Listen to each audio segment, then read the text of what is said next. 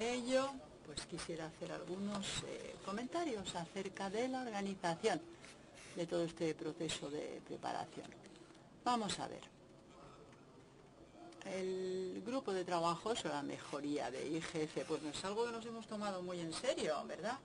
Y quizás recuerden ustedes o no que se habló mucho de la renovación del mandato del IGF, se decidió crear un grupo para estudiar las posibles mejorías y una de estas mejorías precisamente pues era que en cada sesión nos centrásemos en torno a dos o tres cuestiones de índole político.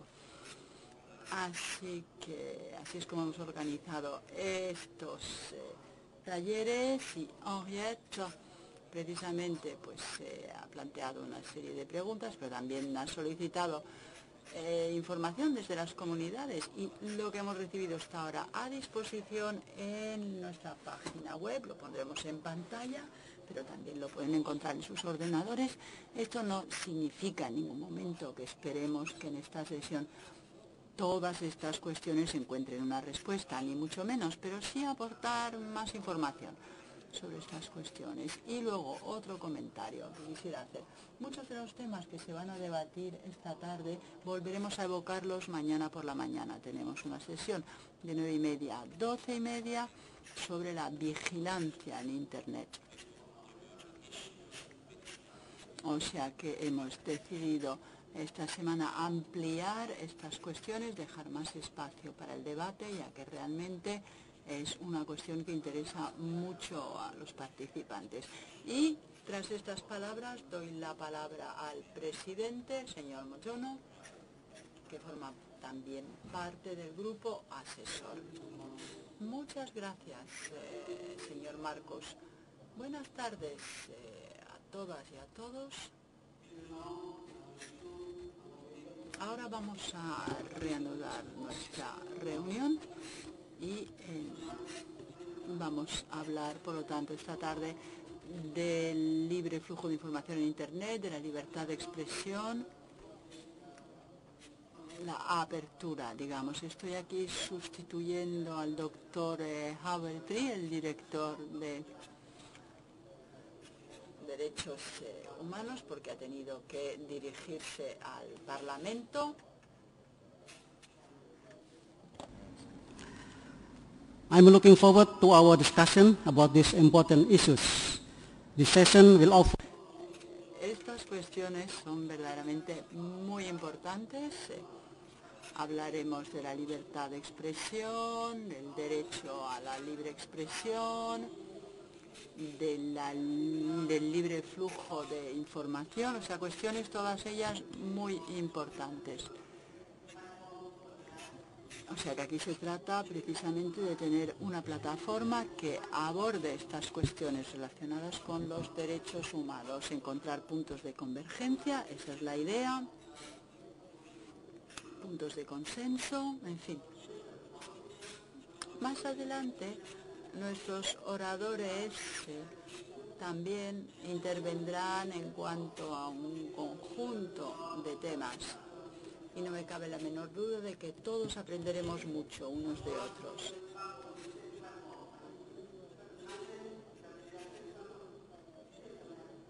La existencia de Internet, sin la menor duda, ha afectado la vida de todos, independientemente de la edad, del género, del estatus social, etc. Es una revolución sin precedentes, una revolución tecnológica que realmente ha aportado unos cambios impresionantes en nuestras vidas cotidianas y también para los gobiernos, para el mundo de los negocios. Todo ello ha tenido consecuencias también sobre los derechos humanos, en particular la cuestión de la libertad de expresión. Internet se ha convertido en una herramienta fundamental también pues para acelerar el desarrollo de la calidad de vida de los humanos, por lo tanto, este es el motivo por el cual los derechos humanos son una cuestión fundamental. Desde un punto de vista de los derechos humanos internacional, baste con decir que esta libertad de evolución, libertad de expresión, esto es algo que se deriva del artículo 19 de la Declaración sobre los Derechos Humanos, que ustedes seguramente conocerán de memoria. Y es una realidad que aparece ya en muchos instrumentos internacionales, en la Convención de Derechos sobre los Niños, sobre los derechos civiles y políticos y la Convención Internacional sobre la eliminación de todas formas de discriminación racial.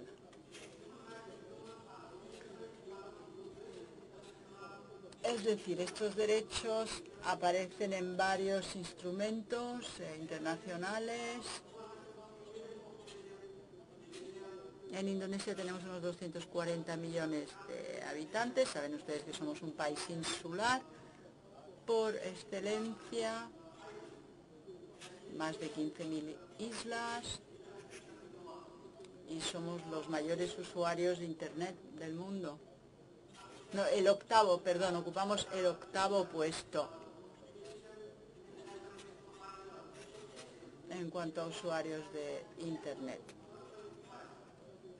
De aquí a 2020, el número de usuarios de Internet será de 63 millones. Es decir, un gran incremento respecto al 2011, 63 millones, un aumento del 14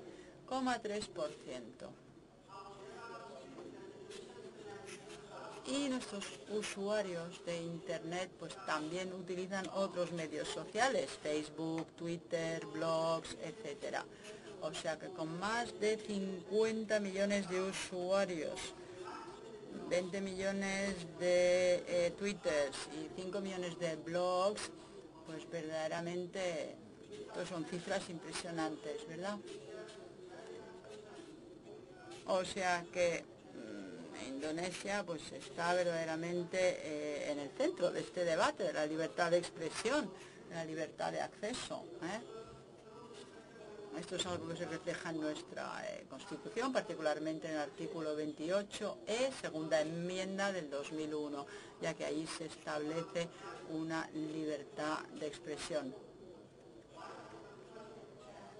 El 28F también establece el derecho a obtener información y en recibir, gestionar e invertir información a través de todos los medios de comunicación a disposición.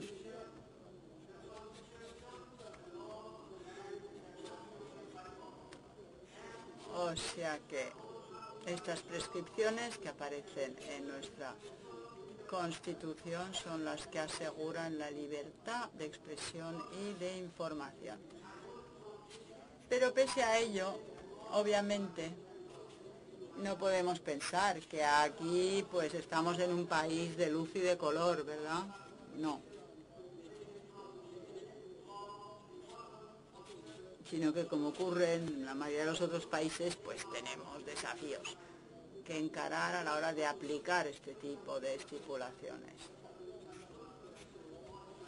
Aplicación eh, de la ley, etcétera. El refuerzo de las capacidades, la educación pública, todas ellas son medidas muy importantes. Otro pilar importante de nuestra democracia está relacionado con la información. Claro está, cómo se utilizan los medios de comunicación, de manera que el pueblo tenga acceso a toda una serie de servicios. La transformación obviamente es un proceso eh, imparable, imparable y como todo gobierno, pues eh, tenemos que desarrollar nuestra página web con datos eh, que estén siempre puestos al día, aportando una información fiable.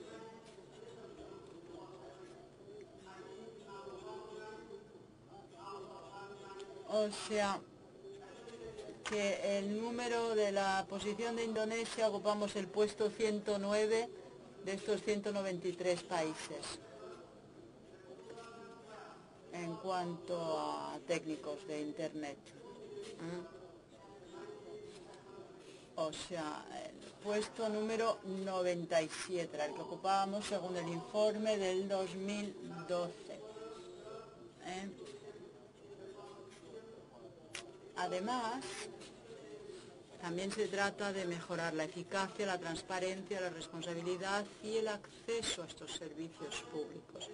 Finalmente, señoras y señores, tengo la profunda esperanza de que a lo largo de nuestros debates de hoy podamos contribuir a la mejora de nuestra sociedad para poder disfrutar plenamente de todos los derechos humanos, particularmente el de la libertad de expresión. En este debate pienso que también debemos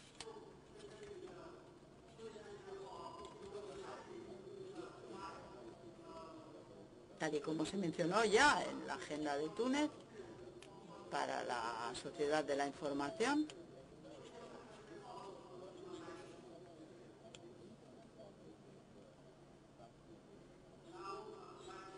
Y dicho esto, me gustaría presentar ahora a nuestro moderador, moderador de esta sesión.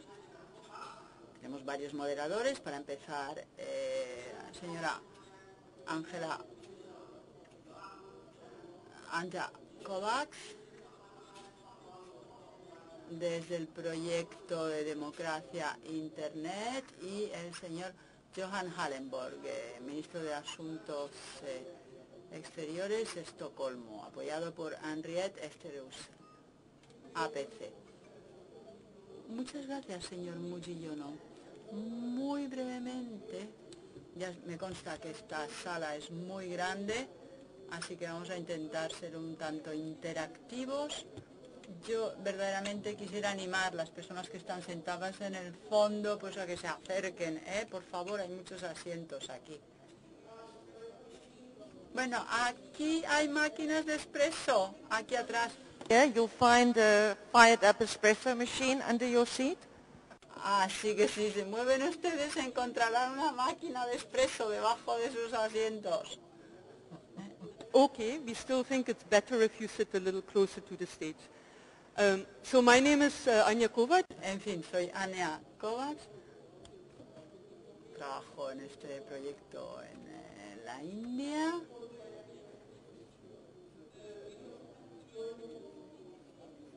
Este proyecto de democracia sobre Internet. Trabajo también con Johanna Hallenborg, que desde el gobierno sueco. O sea que, en fin, les, animemos, les animamos a que se comuniquen a través de Twitter.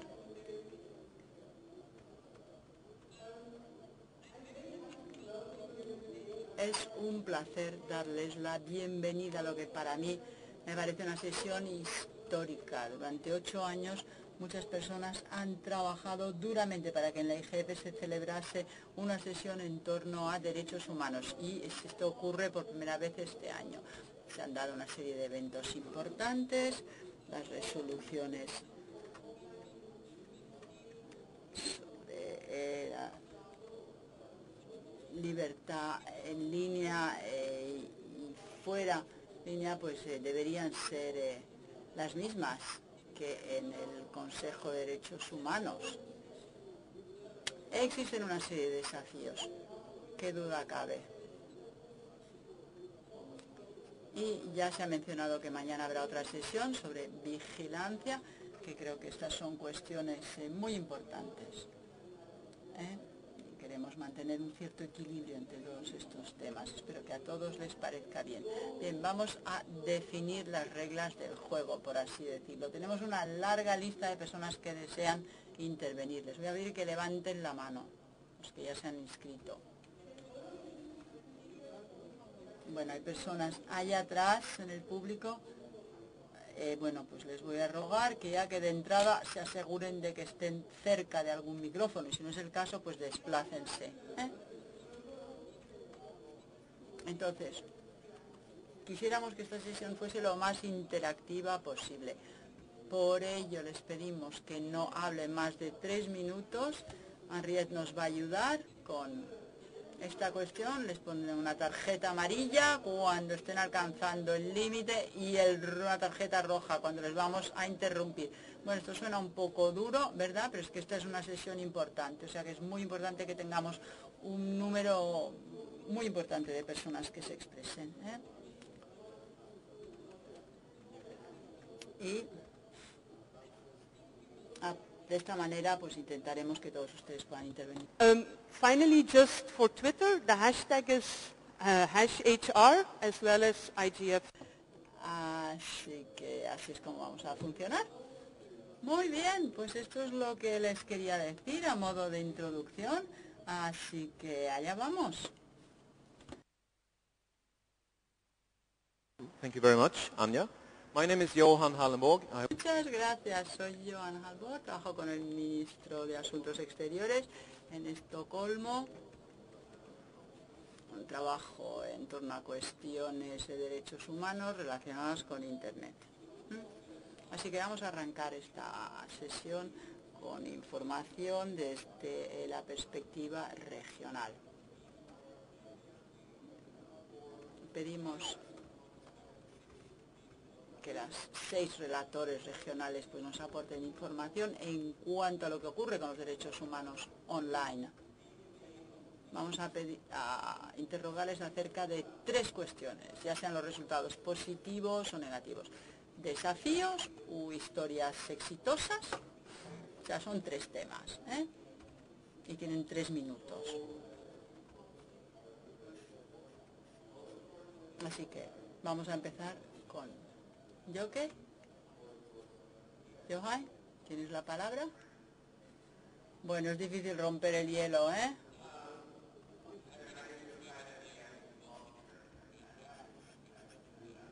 Pues sí, eh, trabajo en Access, una ONG internacional, soy Yohai eh, Ben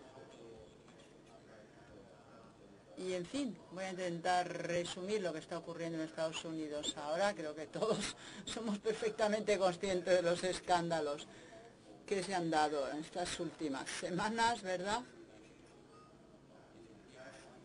O sea que, en fin, que no es ninguna novedad esto de que se viole la privacidad de las personas, eh, por desagradable que resulte.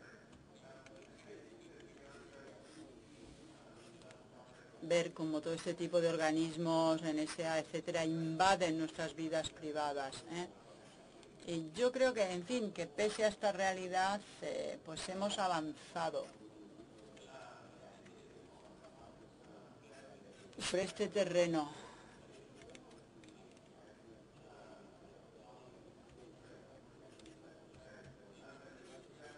O sea que ha habido una reunión aquí en Bali, por cierto, sobre, sobre este tema. Y en el contexto de Estados Unidos, desde luego, este debate pues es algo totalmente necesario. Y la presión internacional también, eso hay que decirlo, esto realmente pues puede hacer mucho, sobre todo sobre las compañías, las compañías estadounidenses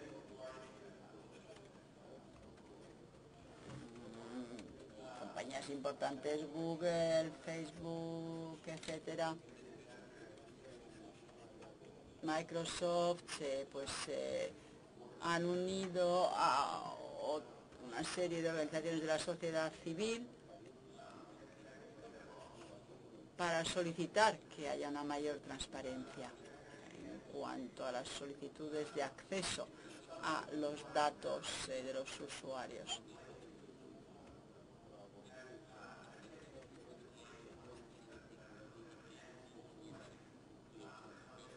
Pero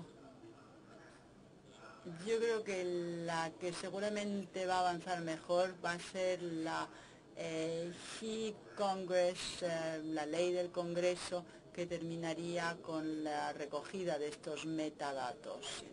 Muy bien, muchísimas gracias por esta información tan valiosa. Vamos con Asia, director ejecutivo de CIAPA. Adelante, tiene usted la palabra. Muchas gracias, buenas tardes a todos. Represento una red regional de grupos locales. Respecto a esta cuestión, quisiera hacer dos comentarios que a mí me parecen importantes, deberían inquietarnos, y otros dos que pueden aportar un impacto positivo.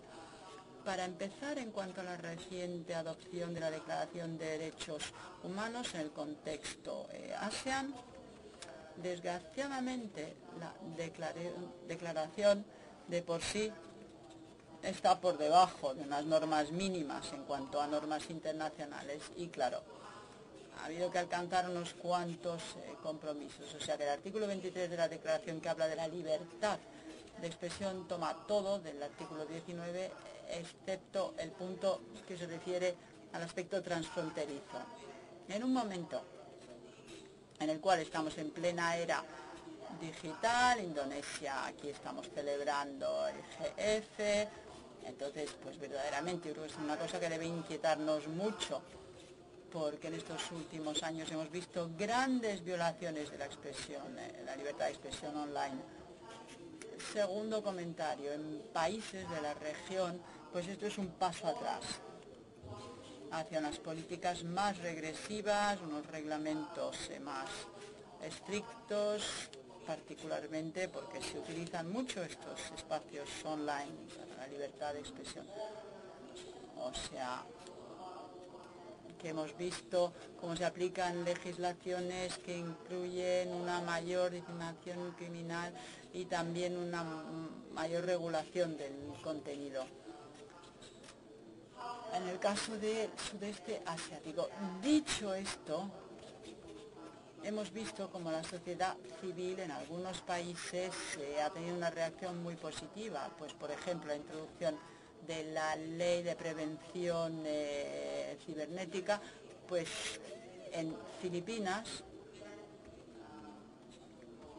pues ha habido un movimiento eh, de la sociedad para evitar la aplicación de esta ley. O sea que realmente eso es algo muy positivo. Luego, segundo comentario, hemos visto como con el crecimiento de los espacios online para los eh, medios de comunicación dedicados a las noticias, eh, pues las cuestiones de ética, etcétera, pues cada vez adquieren mayor relevancia. O sea, no es un reglamento oficial, pero en fin, una cosa interesante. Muchas gracias, muchas gracias a ti, Catri. Y ahora vamos con Eduardo Bertone desde Argentina a ver lo que nos quiere comentar. Eduardo, adelante. Muchas gracias, Johan. Soy Eduardo Bertone, soy profesor eh, de Derecho en Argentina y trabajo en la Universidad de Palermo, en CELE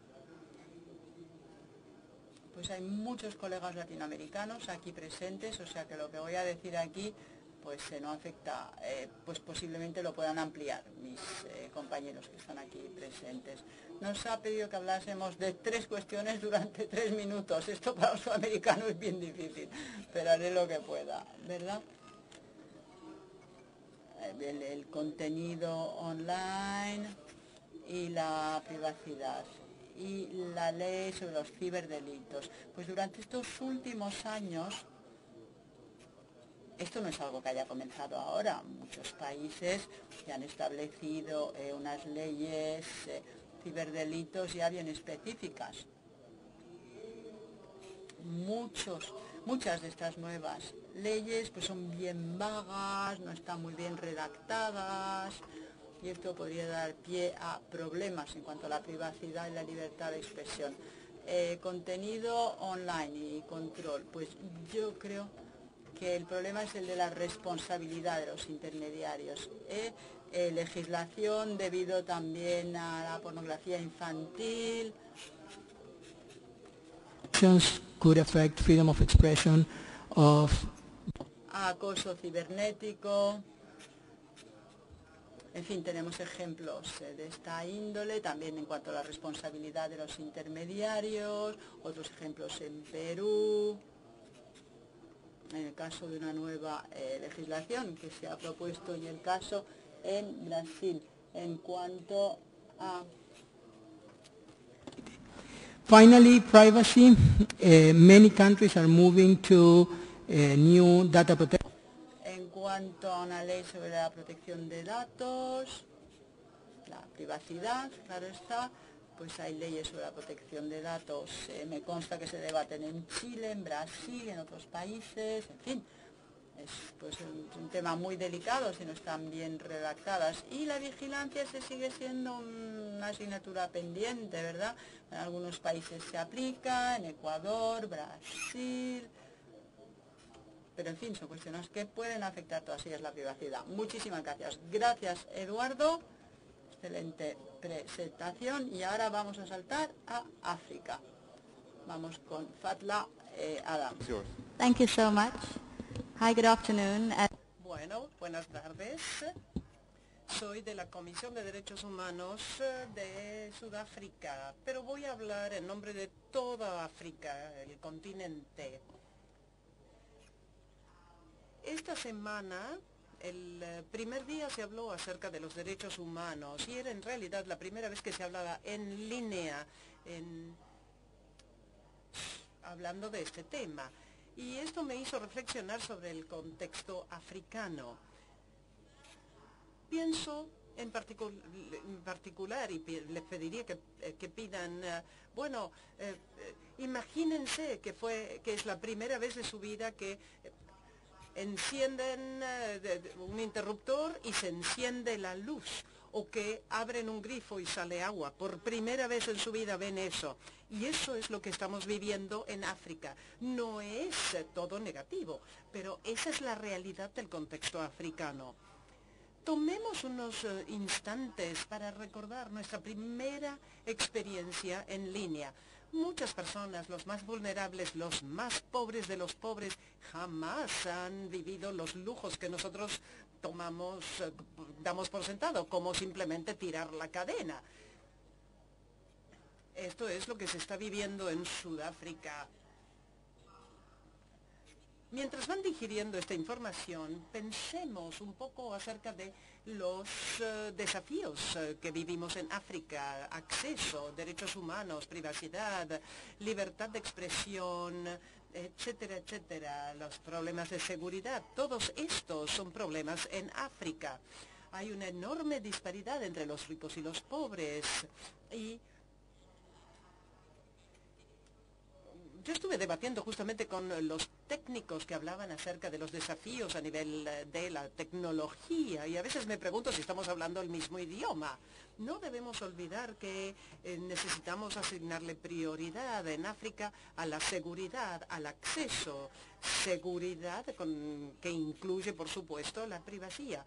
¿O acaso usamos Internet como plataforma para darle vida a esos otros derechos? ¿Qué prefieren ustedes tener, internet o electricidad? Bueno, por supuesto que internet eh, vendrá después, es la electricidad lo que prefieren primero, ¿verdad? Acceso, esto es lo principal desde el punto de vista del equipamiento, de la infraestructura y también acceso para los ancianos, acceso para los discapacitados, los vulnerables como la mujer. No me gusta mucho asociar la terminología esa, vulnerabilidad con mujer, pero en fin, eh, digamos que es el grupo de la población contra el cual hay más discriminación. Por supuesto, la seguridad, que es uno de los retos principales en África. Cuando hablo con eh, con gente de otros países donde hay más tecnología, por supuesto, es eh, en, en, nuestro continente que hemos visto un avance hacia la restricción de los derechos en línea, monitoreo, vigilancia, etcétera. Y finalmente quería decir que en África Oriental y también en África del Sur se han desarrollado plataformas móviles, plataformas celulares, en las cuales se puede, puede uno hablar acerca de estos desafíos. Muchísimas gracias. Lee, si estás listo, señor Lee, que viene del, Lee del Consejo de Europa. Gracias, Johan. No olvidemos que cuando hablamos de derechos humanos en general, nacieron, digamos, eh, hace unos 60 años debido al maltrato de la gente. Las declaraciones y las convenciones que se han ido formulando lo fueron formuladas justamente para asegurarnos de que no volvieran a surgir esos abusos, esos maltratos.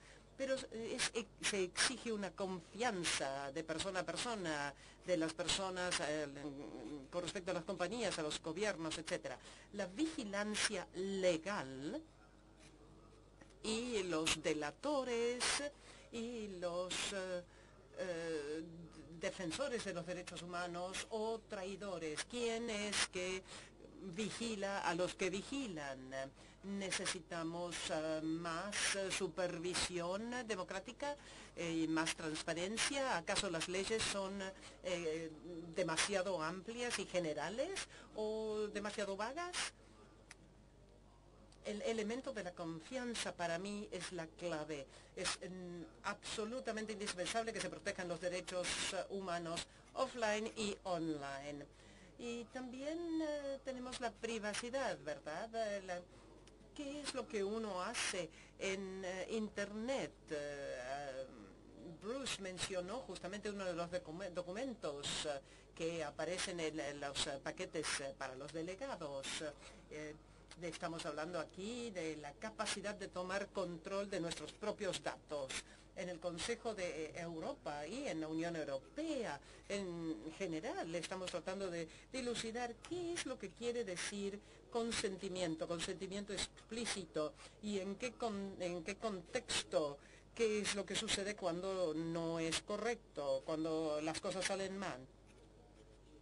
Por supuesto, también otro elemento clave es la libertad de expresión.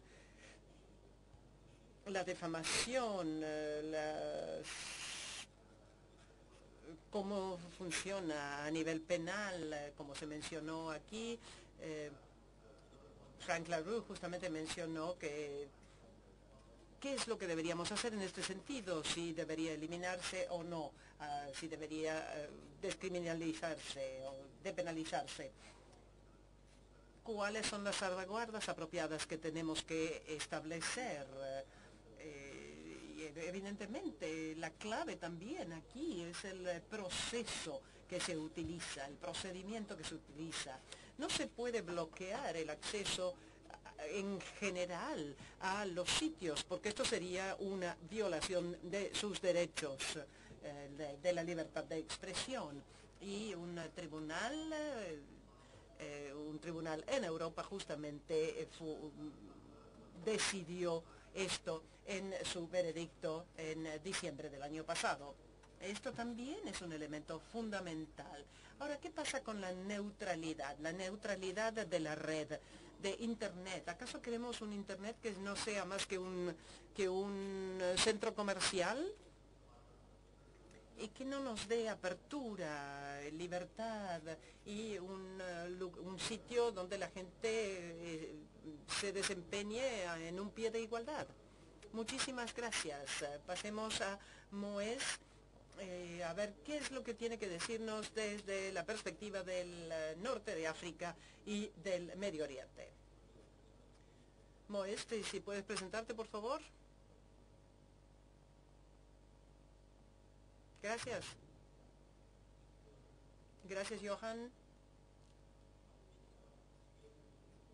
Voy a hablar acerca de Túnez y la situación en Túnez. Ustedes saben muy bien cómo ha cambiado la situación en Túnez en estos últimos años, eh, cómo eh, hemos ido más allá de la reglamentación, eh, puesto que no teníamos muy buena reglamentación en el pasado. El gobierno actualmente está preparando la legislación o redactando nueva legislación contra el cibercrimen. En realidad era un estaba basado en la Convención de Budapest, pero al examinar la convención vemos que hay censura y muchos otros temas en esa convención que afectarían a nuestro propio proyecto de ley. No sé, francamente, si vamos a llegar a promulgar esta ley, porque ha habido muchísimos cambios, pero quisiera destacar otra vez la gran importancia de este tipo de convención. Es muy, muy importante comprender cabalmente estas convenciones. Se pueden utilizar como una base, pero eh, también se pueden utilizar para una mala situación y eh, sin, sin respetar los derechos humanos.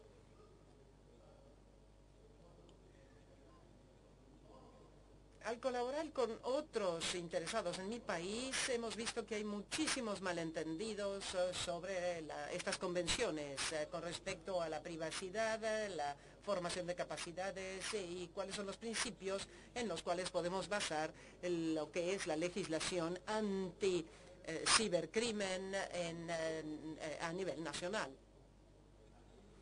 Pero también quisiera destacar la importancia de lo que es eh, el, el, papel de la sociedad, de la comunidad. Es muy importante mencionar todos estos temas a nivel de la sociedad, de la comunidad. Es importante, por supuesto, mencionar todo esto cuando estamos hablando acerca de del acceso a Internet.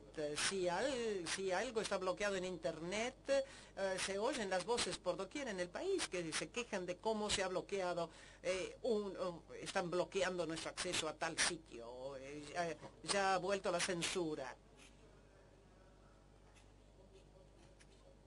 Cuando les muestro la tarjeta amarilla todavía les quedan 30 segundos, así que no se olviden. Y rojo, bueno, tarjeta roja, No, yo le usé sus 30 segundos. Muchas gracias, Moes. Sé que has tenido un papel sumamente importante en tu país con respecto a la libertad de expresión en Internet.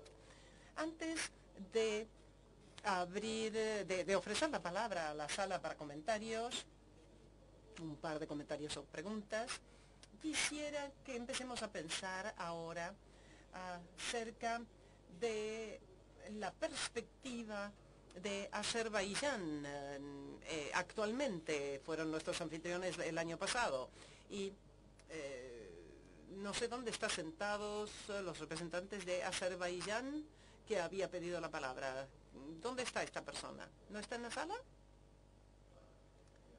Bueno, si vuelven, les daremos la palabra. Ofrezco la palabra para dos intervenciones para hacer comentarios sobre este panorama muy, muy general, mundial, de lo que ha sucedido en este plano. No vacilen en pedir la palabra. Y les pido por favor que se presenten. Hola, esta no es la intervención que yo quería hacer. Quería simplemente mencionar el, cibercrimen y tienen toda la razón. Y que yo soy de Pakistán saben lo que sucede, que nuestros, eh, eh, nuestros gobiernos dicen, bueno, esto está basado en la, en la Convención de Budapest y por eso podemos hacerlo. Pero cuando yo leí la convención no era el caso. Tienen toda la razón, nos están engañando los gobiernos diciendo, bueno, tenemos un compromiso mm, con arreglo a la Convención de Budapest y tenemos que ejercer ese tipo de control y me parece que vamos a enfrentarnos a leyes muy represivas eh, que, usan, esta excusa. Sí, me parece que este tema se repite por doquier en el mundo, en la legislación, la calidad de la legislación. ¿Algún otro comentario con respecto a la diferencia con el año pasado, por ejemplo? ¿No? Ah, ¿dónde? Adelante, micrófono, por favor. ¿No había gente con micrófonos en la sala?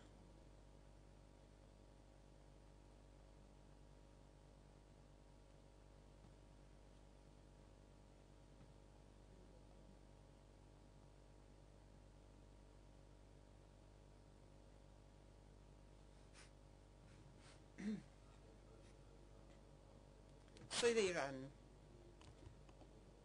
y estoy formo parte de la campaña internacional en pro de los eh, derechos humanos eh, en Irán. Desde el año pasado, como saben, tenemos una, tuvimos elecciones presidenciales y ahora afortunadamente tenemos un presidente moderado. Y ha prometido hacer algo con respecto a Internet, incluyendo aumento de la velocidad de transmisión y también permitir los medios sociales.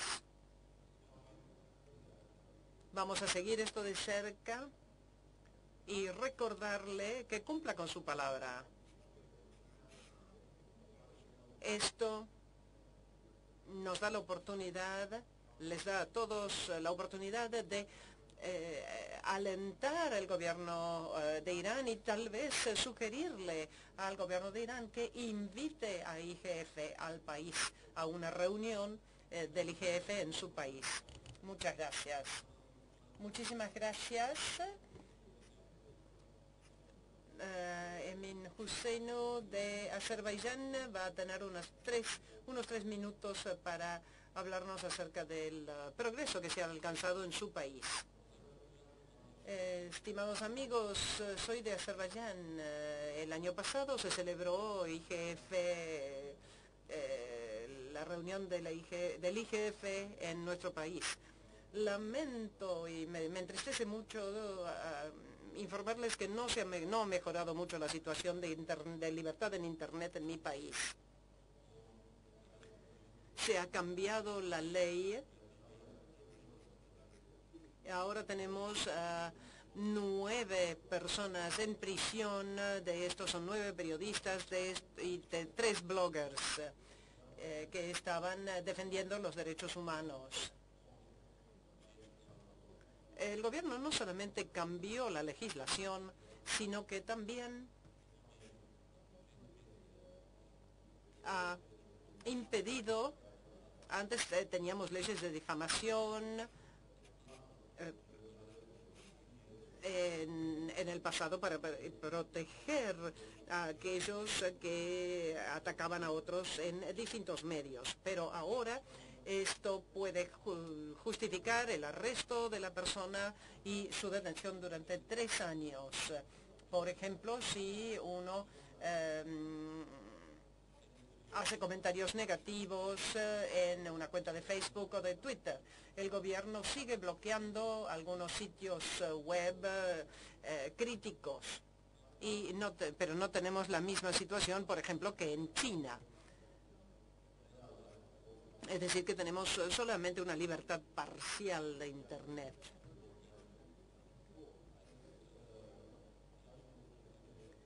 Azerbaiyán no ha cumplido la palabra que dio para la celebración de IGF en, eh, en el país. Yo pienso que si IGF, eh, la Secretaría de IGF y la ONU eh, tendrían que organizar una especie de vigilancia después del IGF, no solamente antes del evento. Tal vez lo que deberíamos hacer es mantener una vigilancia un poco más estricta y hacer recomendaciones y em, presentar otros comentarios eh, con respecto a la libertad de Internet en el país anfitrión de IGF. Hemos preparado un informe especial sobre este tema y lo que ha cambiado en, eh, en, la esfera de Internet. Muchísimas gracias por su atención. Muchas gracias, Amin, por esta declaración tan eh, candente. Soy Khaled Patel presidente del eh, grupo multilingüe de Internet. Eh, escuchando los comentarios, me doy cuenta que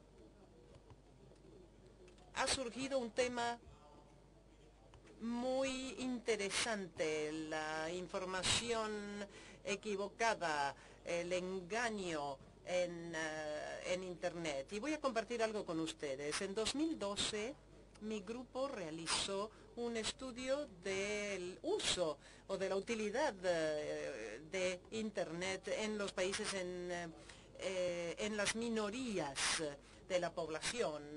nos concentramos para empezar en la comunidad de idioma árabe, luego farsi y luego urdu. Realizamos encuestas en diversos idiomas para estas, destinadas a estas comunidades y en realidad fuimos, viajamos a muchas de las distintas capitales para eh, examinar y em, reunirnos con las autoridades reglamentarias en esos eh, países.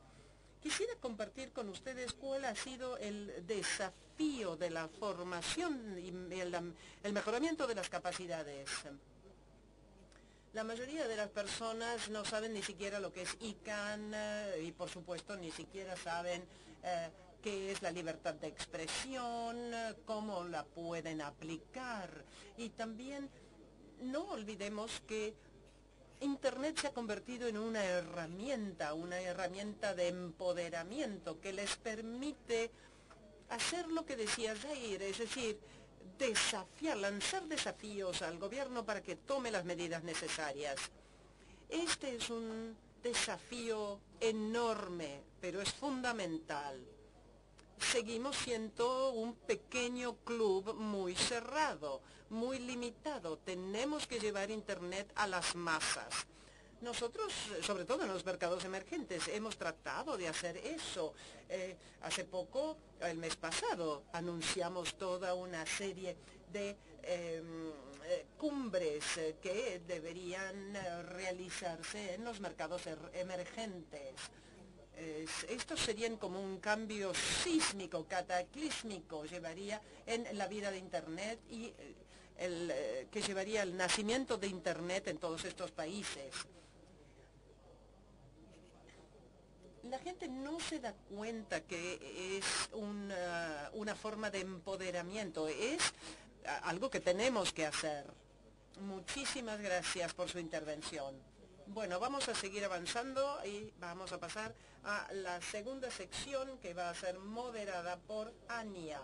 Y les vamos a dar también la oportunidad de comentar sobre lo que sucede en las distintas regiones. Hemos dividido esto en tres secciones eh, diferentes. Ania, si quieres explicar. Muchas gracias. Comencemos eh, con el elefante o el toro que está en la sala, eh, la vigilancia. Le voy a pedir a Nicolás Seibert que nos hable acerca de por qué eh, la vigilancia es también un problema de libertad de expresión. Y por qué tiene que ver también con la privacidad. Bueno, muchas gracias. Habla Nicolás Seidler de ISOC. Bueno, desde la perspectiva de la comunidad técnica,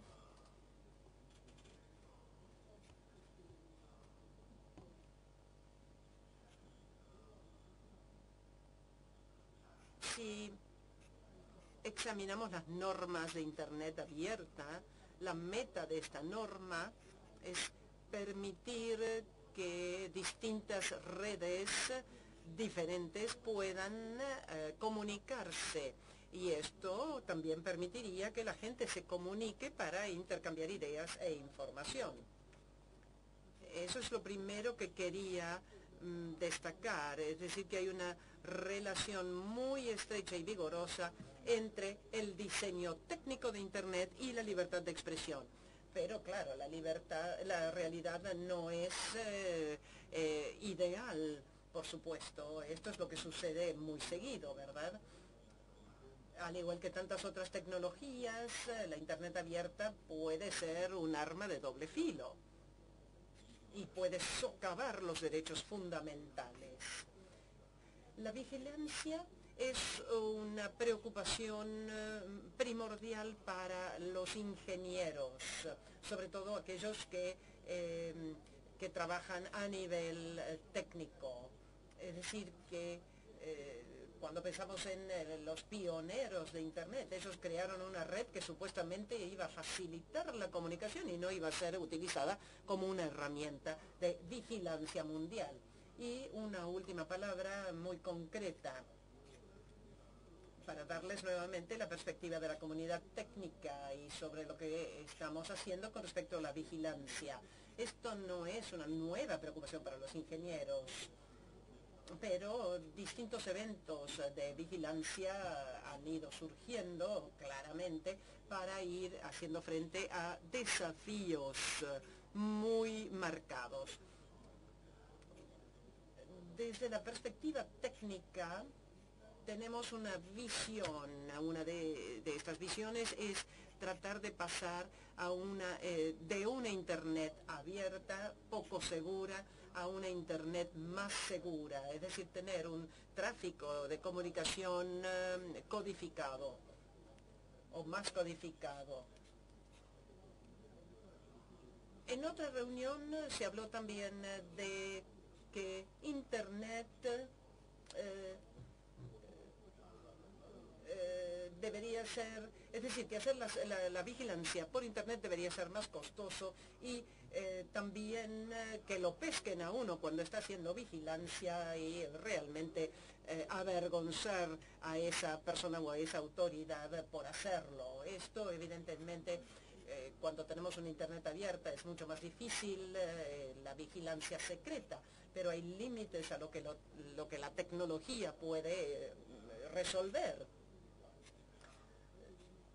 las normas tampoco pueden cambiar la puesta en práctica de las normas y me refiero, por ejemplo, al software comercial basado en las normas. Y finalmente, la tecnología no sirve de nada si los usuarios no se comunican con eh, sus pares eh, en los que tienen confianza y ellos mismos eh, no velan por la comunicación segura. Eh, esto es lo que quería eh, compartir con ustedes desde la perspectiva de la comunidad técnica. Muchísimas gracias, Nicolás. Quería pasar ahora a otra persona, Miki, que quizás haya salido de la sala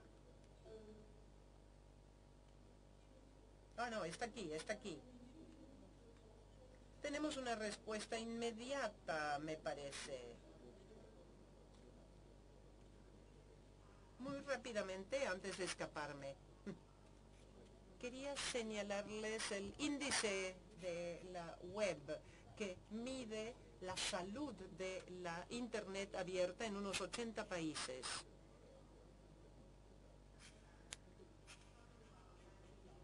Y repito, ahora hablando bien eh, en el micrófono, el índice de la web es una iniciativa de la fundación de la web y que mide la salud, como dije, la salud de la Internet abierta en unos 80 países. este índice se va a lanzar eh, la versión 2013 se va a lanzar eh, durante la ICTD en Sudáfrica en diciembre. Espero que lo aprovechen todos muy bien.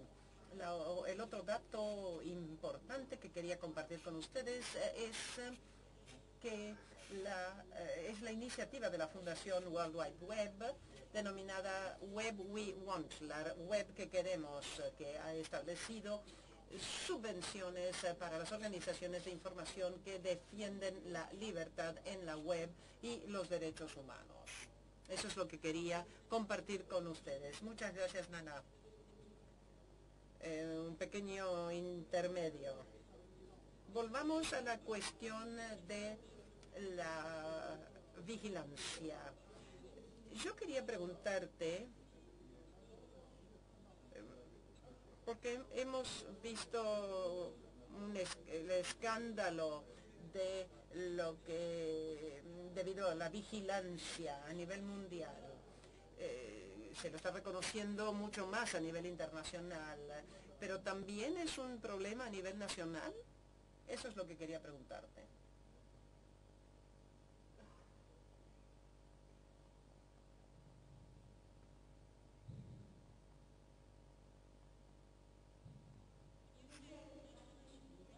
Cuando dices eh, eh, problema nacional, ¿te refieres en particular a la India o a los problemas a nivel nacional, eh, a todo nivel? Pienso que es un problema nacional. Y tenemos por un lado la vigilancia a nivel nacional, las agencias de seguridad que van a estar escuchando y vigilando. Y bueno, son cosas que hacen hace años, ¿verdad? La tecnología les ha facilitado esta tarea. Pero a nivel nacional, esa escucha está sujeta al gobierno de la ley, al imperio de la ley. Y a nivel mundial es diferente.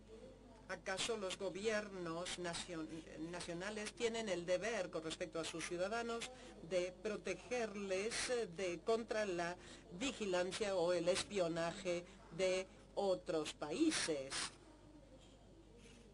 En la India, en el contexto de la India, tenemos algo un poco más sofisticado, más complejo.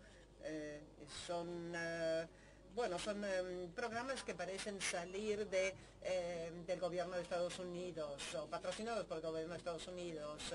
Tenemos un poco como un agujero negro en este sentido. Tenemos un sistema de vigilancia central, y no pero no tenemos legislación para proteger la, la em, privacidad.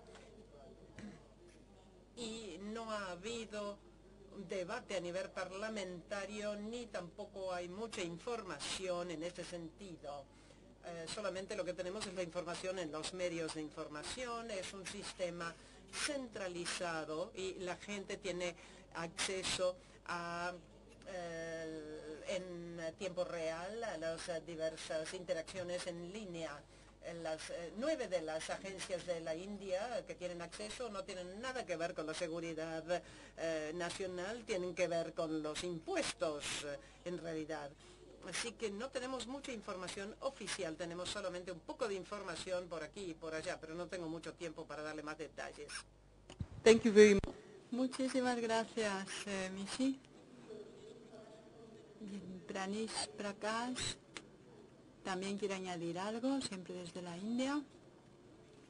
Pues dos comentarios muy rápidos. Uno acerca de lo que estamos viendo ahora mismo en cuanto a vigilancia y de cómo esto afecta a la libertad de expresión, pues no es que siga adelante lo que ya existía, porque es que las tecnologías digitales han alterado eh, esta ecuación o sea, permiten una mayor vigilancia que antes jamás de los jamases había sido posible.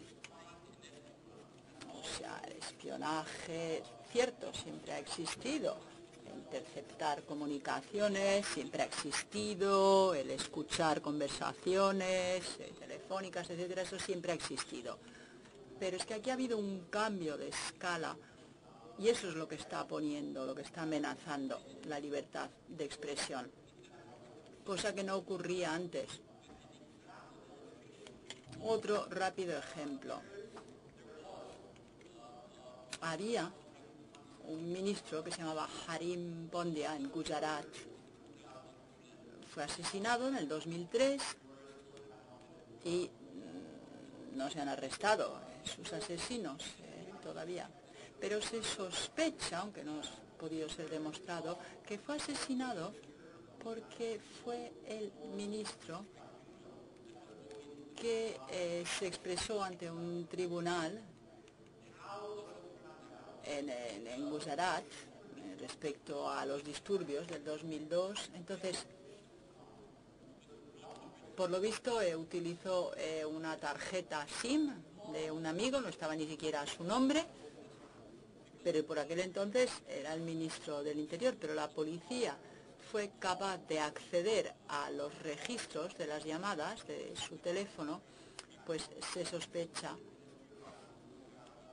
que así es como se supo que este era el ministro que había eh, delatado estos eh, disturbios. Muchísimas gracias, eh. Eh, ahora quisiera que tomase la palabra eh, Meriem.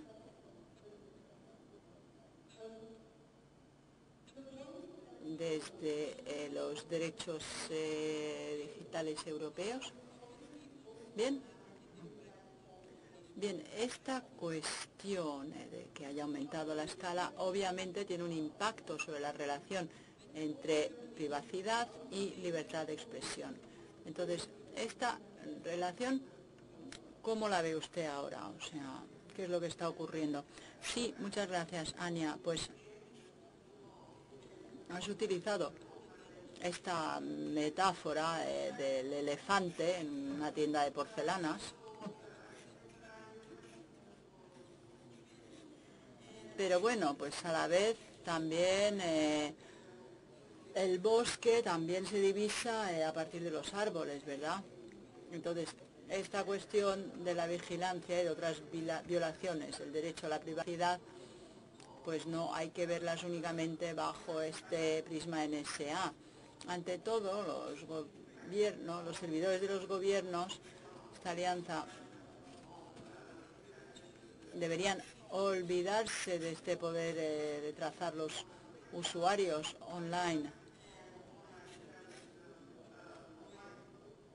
y esto incluye, incluye perdón, las firmas corporativas, eh, los operadores eh, de telecomunicaciones, los proveedores, eh, servicios online. O sea que hemos visto con el escándalo NSA, hemos visto cómo hay una convergencia entre los objetivos del gobierno en cuanto a vigilancia y también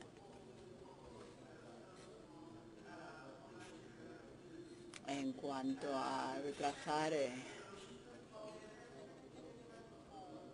las eh, más eh, corporativas, o sea, y no debemos olvidar que también está la cuestión de la vigilancia nacional. La mayoría de los gobiernos, por no decir todos, que han adoptado una serie de leyes que les permiten llevar a cabo unas recogidas de datos masivas, pues por ejemplo a través de leyes de retención de datos. Esto existe en, Europa, o sea, esa es la legislación europea. Entonces debemos ser conscientes de que esto no son simples datos técnicos, sino que esto permite también el mapeo a través de la, una cartografía de los ciudadanos, de sus actividades, etcétera. O sea que esto tiene un fuerte impacto sobre la libertad de expresión, porque esto lleva a una autocensura por parte de los usuarios. O sea que ahí hay un vínculo clarísimo entre, con la libertad de expresión. ¿eh? Bien, veo varias manos levantadas.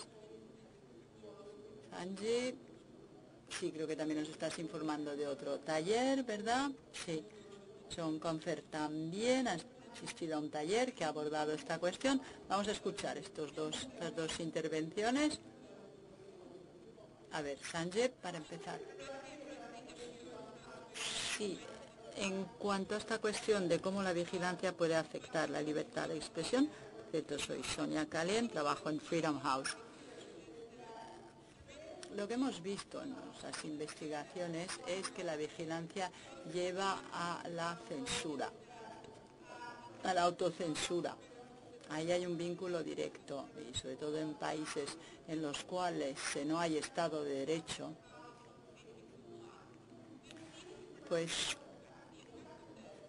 hemos visto eh, los efectos de esta realidad en los estados autoritarios. Donde pues de repente llega la policía y, llama a la puerta. Pues debido a algo que se ha dicho online. ¿eh? Entonces la vigilancia a nivel nacional hemos visto cómo ha ido aumentando. Muchas personas ahora mismo se están centrando en lo que ocurre en Estados Unidos y cómo afecta esto la comunidad mundial. Yo vengo desde Bosnia pero lo que hemos visto en nuestra investigación es que realmente cuando se habla una persona en Bahrein o en Rusia, pues no tienen ningún temor, no se están autocensurando. por debido ya a la vigilancia de la NSA. Pero lo que harán será criticar eh, las autoridades. O sea que creo que, en fin, que esto es lo que está ocurriendo ahora mismo en Estados Unidos. Y, en fin, luego puedo presentarles más conclusiones de nuestro taller. Muchas gracias, Sanjay. John, sí, quizá también puedas añadir eh, un punto de vista desde tu taller, el taller al cual has participado. Sí, voy a ser muy breve también.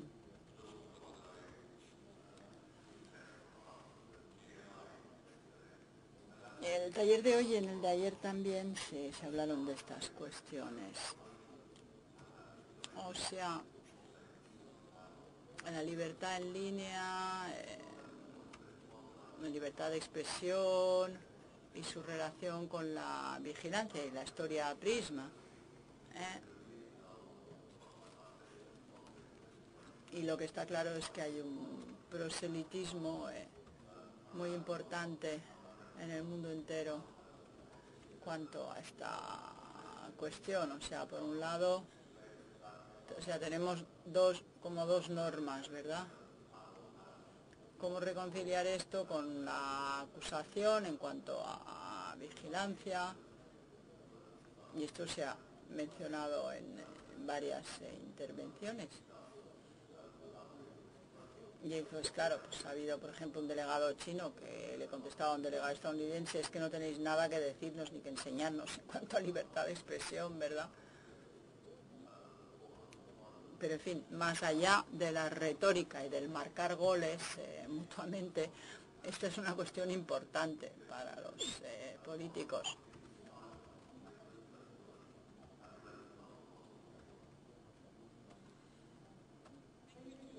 Muchas gracias, John. Sí, por estos recordatorios eh, bien importantes. Entonces, más que centrarnos en gobiernos, quizá, pues yo creo que es importante, eh, sí, se, ha acusado de, duplicidad, ¿verdad? Es algo que se ha acusado también a varias, de lo que se ha acusado a varias empresas. ¿eh? Google, pero primero voy a darle la palabra a... O sea, eh, se supone que tengo que responder a esta acusación a mi gobierno, no, puedes contestar a la pregunta de qué va a hacer el negocio para, en fin, tras lo muy dañada que ha sido la reputación de esta compañía, muy, muy, muy dañada, ¿verdad? Pues sí, somos muy, muy, muy conscientes de ello, sí. La relación que tenemos con nuestros usuarios es fundamental, siempre hemos dicho que era nuestra prioridad, o sea que estas eh, revelaciones pues somos muy conscientes de, de cómo ello ha quebrado la confianza que tenían muchos usuarios en nosotros como compañía. Y hemos trabajado duramente pues para asegurar a los usuarios que pueden seguir confiando en nosotros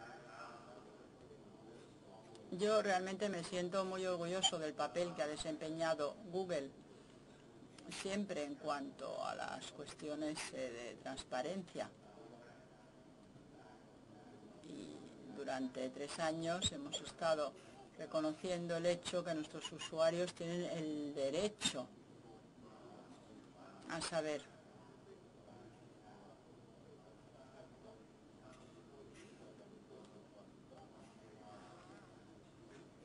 O sea, y no es algo que estemos haciendo ahora para salvar nuestra reputación.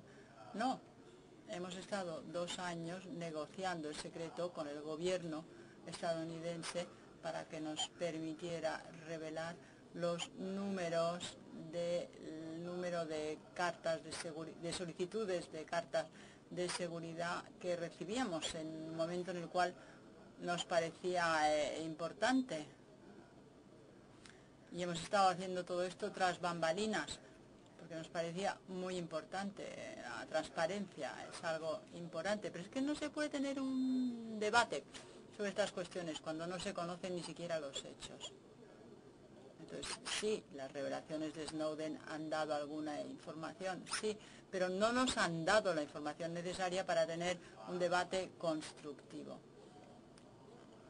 Por ello llevamos al gobierno de Estados Unidos ante los tribunales con otras compañías. Precisamente por ello. Sí, ahí hay un micrófono, un comentario más del público. Muchas gracias.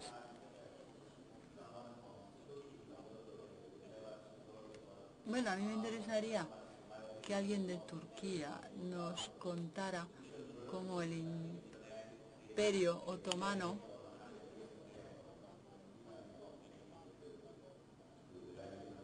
pues eh, cometió el inmenso error de no permitir que la tecnología establecida por Gutenberg fuera utilizada por todos, sino que la retuvo durante un siglo más.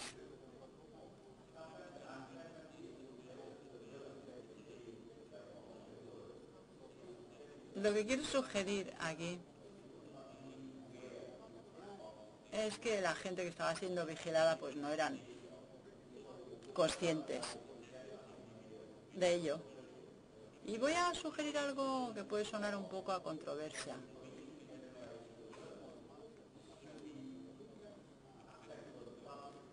Si hay alguna vigilancia, pues esto debería ser accesible al público. Yo cuando voy con mi iPad, eh, Apple sabe dónde estoy. ¿Eh? Entonces Apple pues tendría que poder transmitir esta información al público.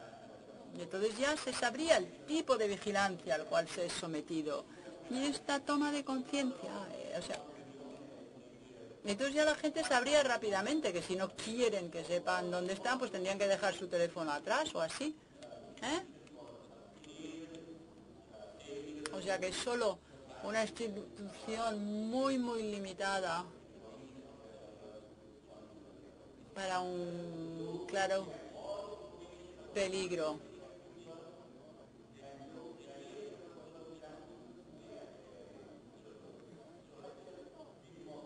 O sea que, en fin, habría que ser más abiertos. ¿Eh? Muchas gracias.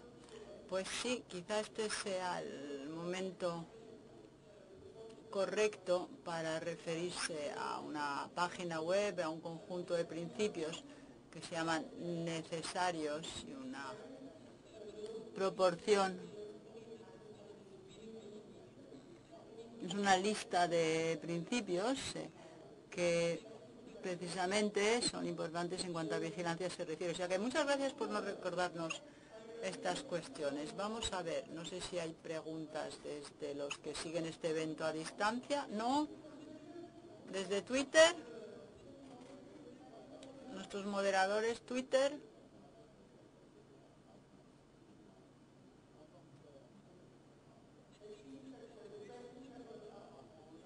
Bueno, pues parece que se ha aportado una respuesta ¿eh? a las preguntas planteadas. ¿Algún otro taller quiere quizá expresarse sobre este segmento? No. Vale, pues entonces quizá tengamos tiempo para uno o dos comentarios más. Uno aquí y otro aquí. Bien, adelante.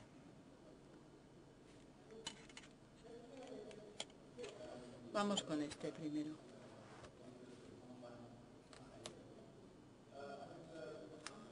Bien, soy de la Walida Shaka y hago eh, investigaciones online sobre censura. Bien, está la vigilancia, cierto, la violación de la libertad y tal, pero lo que es todavía más peligroso es cuando la gente ni siquiera sabe que están siendo vigilados. Porque claro, luego de repente cuando esta información se utiliza para marketing, etcétera.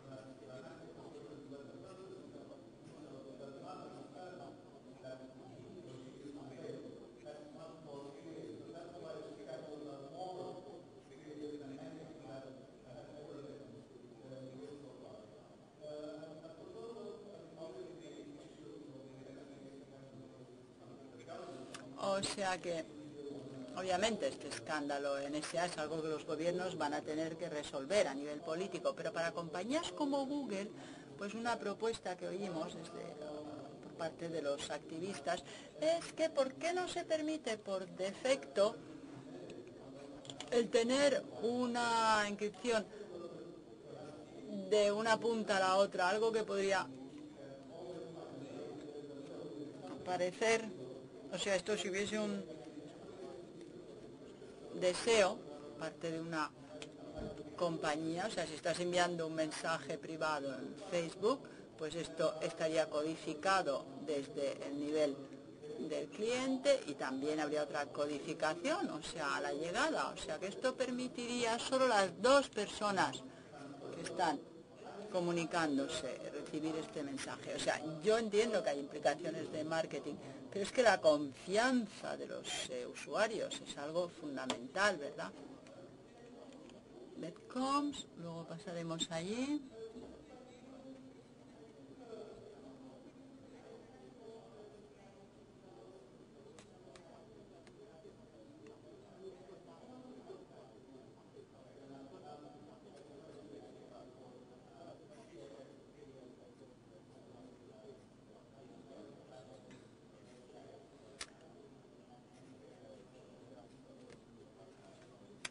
Muchas gracias. Sí, pues yo quería informar de una sesión que se celebró ayer, una de las sesiones flash.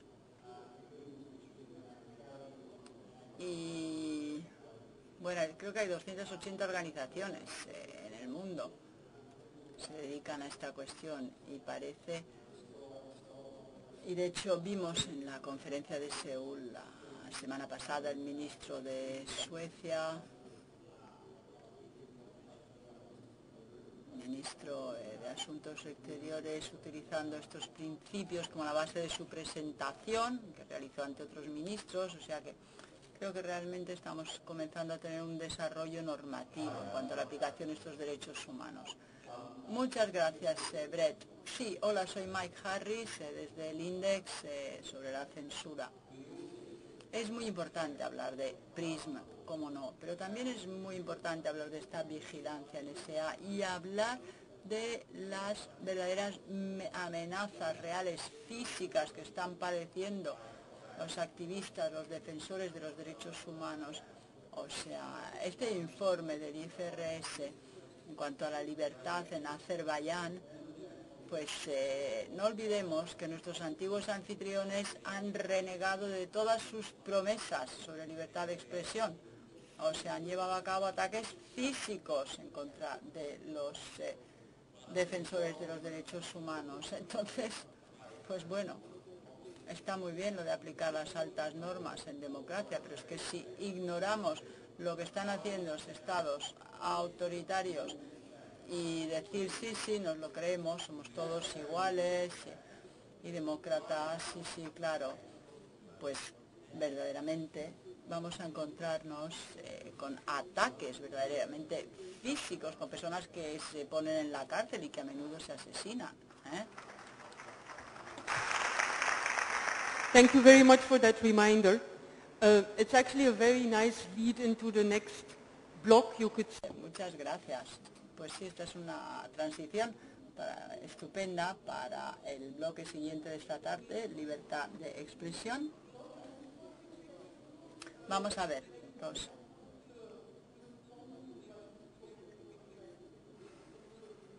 Eh, vamos a ver una respuesta desde el punto de vista de Google. Pues sí, obviamente esta codificación eh, para nuestros eh, usuarios sería algo muy positivo y por ello seguimos haciendo investigación sobre esta cuestión de la codificación y con nuestro browser Chrome de hecho, existe una codificación a disposición. No puedo decir que sea algo perfecto, pero somos conscientes de la importancia de esta cuestión.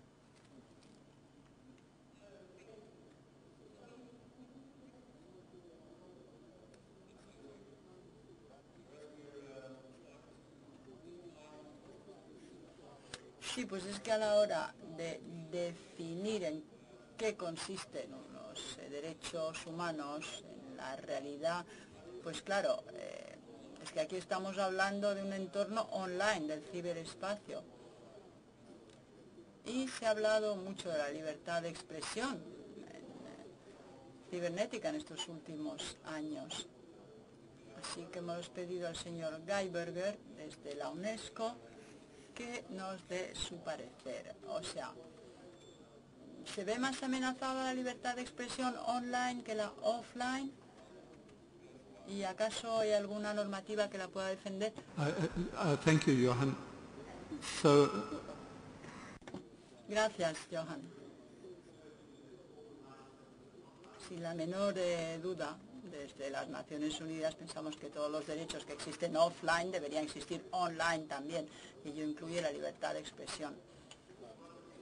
Entonces, lo que es importante en cuanto a libertad de expresión se refiere es que entendamos que la libertad de expresión, o sea, no es solo el poder limitarse a expresar, a enviar mensajes, sino en buscar y en recibir. ¿eh? La libertad de buscar y de recibir. O sea, son las dos caras de la misma moneda. Y esto es fundamental, porque si solo se tiene una, pues eh, claro, si no vas a poder tanto eh, ser escuchado como recibir, pues es que no tiene mayor sentido. O sea que lo importante es entender la importancia de un bloqueo, de un filtro que tenga un impacto sobre una de estas dos caras de la moneda. Ya hablamos mucho de acceso, del derecho al acceso, pero una vez más pues es una cuestión que va en ambas direcciones. ¿eh? Y de la misma manera también podríamos decir que no es la vigilancia ilegal de por sí lo problemático en cuanto a derechos y a filtros eh, de bloqueo, no son estos el problema de por sí. Pero aquí se trata de ver cuáles son las, los límites perdón, legales.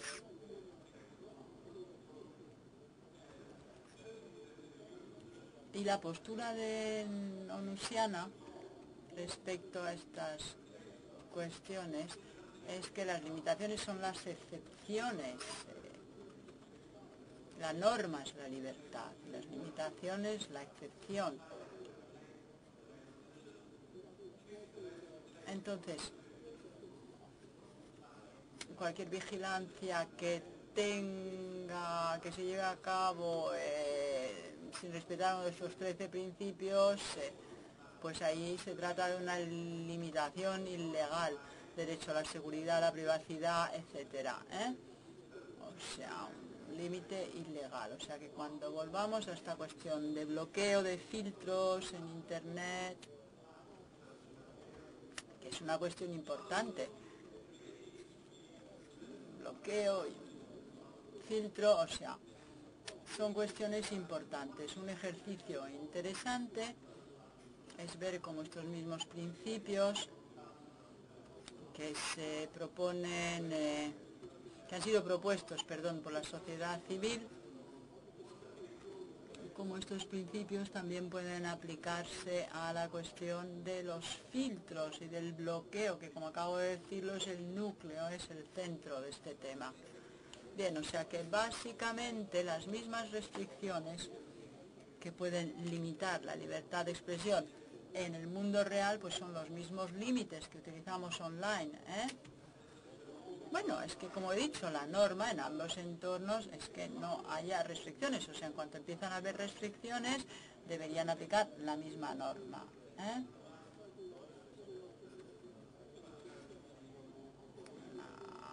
transparencia, legitimidad, etcétera. Bueno, pero en algunos países se trabaja con cuestiones específicas, eh, cuestiones particularmente delicadas, pues hay mayores restricciones. Yo así es como lo veo, por lo menos. Entonces eh, me gustaría preguntarle a Visa Kabata, ahora los derechos, eh, usted es un activista para igualdad de género. Entonces, ¿Qué experiencia tiene usted en su trabajo? Bien, pues lo que me gustaría decir desde el punto de vista de género y derechos sexuales es que como todos sabemos, uno de los objetivos principales para los cuales se ha utilizado Internet es precisamente para actividades relacionadas con el sexo, para la sexualidad. Entonces muchas personas eh, sí eh, se dedican a visionar películas eh, porno, pero es que hay mucho más. personas, por ejemplo, que sufren del HIV, SIDA y aprenden a utilizar un condón en línea,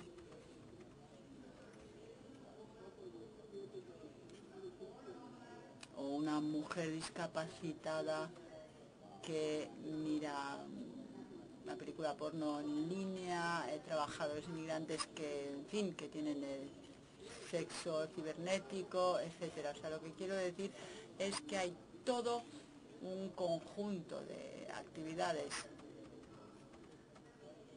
que se consideran como algo negativo de por sí. Y entonces se intenta eh, eliminar todo contenido sexual. ¿Eh? Se pone todo bajo esta misma etiqueta de pornografía. Entonces yo creo que tiene que haber una verdadera garantía de libertad de expresión. Y deberíamos comenzar a establecer con más claridad el derecho a la expresión sexual. O sea, porque es que si no puede haber eh, confusiones. Y luego creo que precisamente como ha habido todo un discurso moralista en torno a la pornografía, etcétera, pues aquí lo que afecta a las mujeres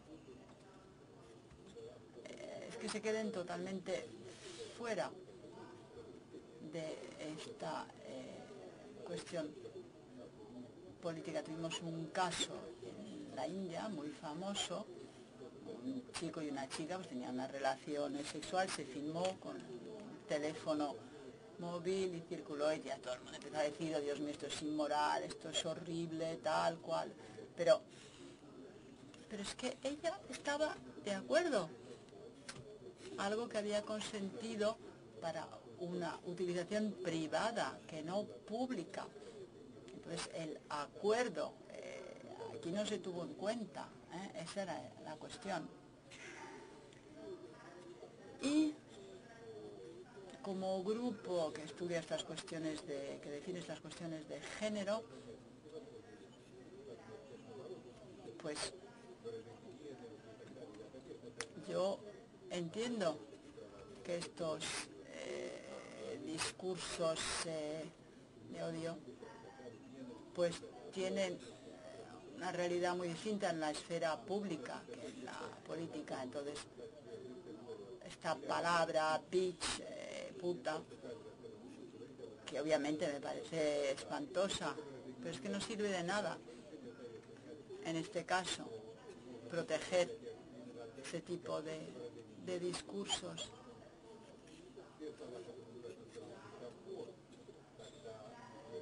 O sea que esto también está relacionado con la libertad de expresión. Muchas gracias.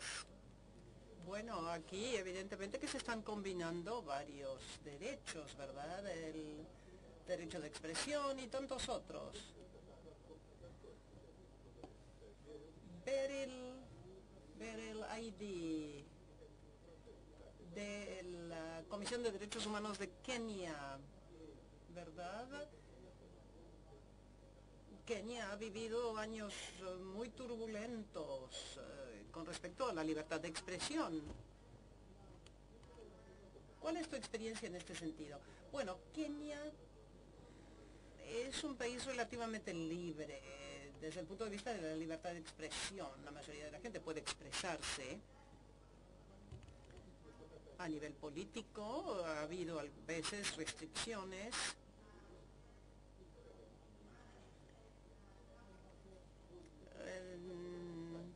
la gente ejerce una autocensura en respuesta a la amenaza del, eh, del ente reglamentario, que es la Comisión de Comunicaciones de Kenia,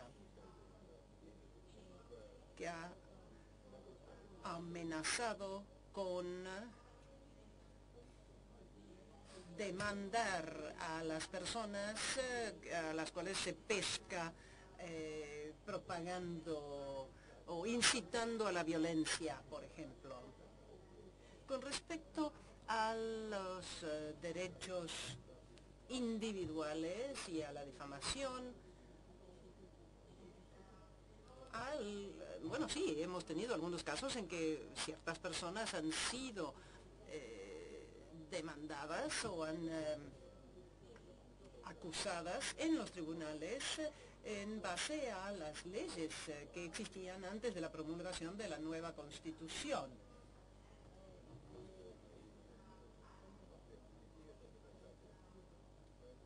Otras personas han demandado a los medios de prensa, a los medios de información, pero estos eh, casos individuales todavía no han llegado a una conclusión, todavía están pendientes y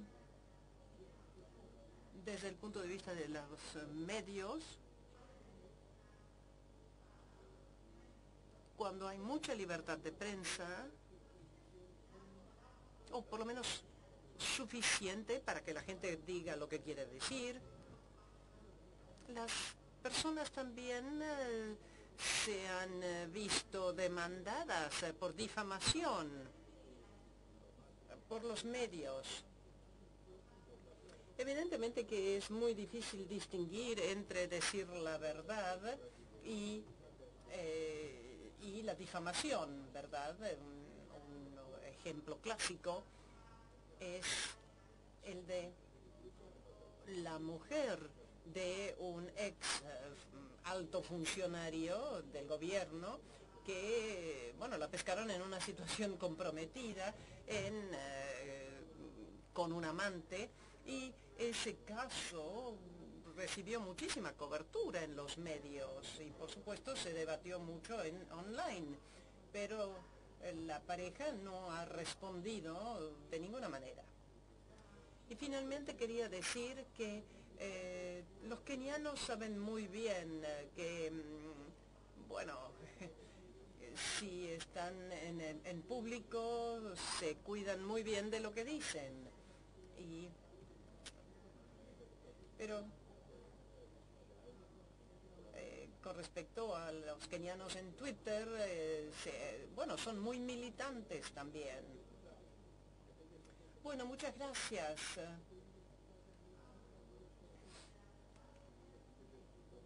¿Esta es una tendencia que sigue en Kenia? Bueno, ¿cuál?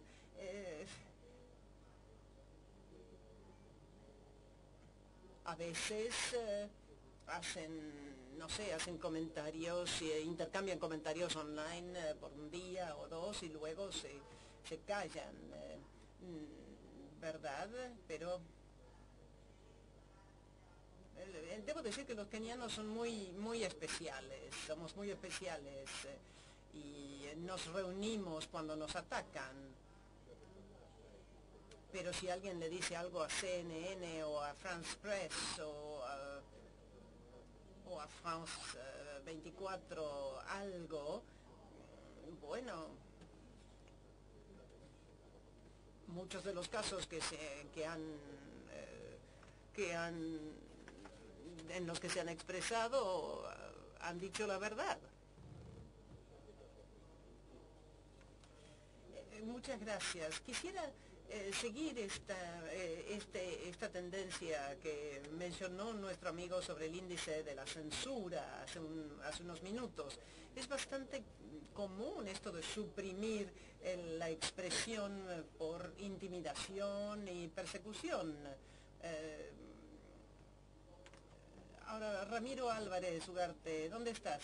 ¿Podrías comentar sobre esto, por favor? Y cuéntanos de dónde vienes. Bueno, muchas gracias. Soy de Buenos Aires, Argentina.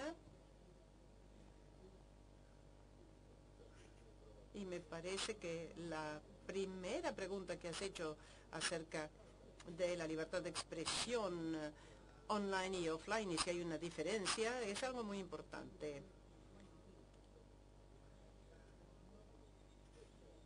Pienso que lo que estamos empezando a ver en América Latina,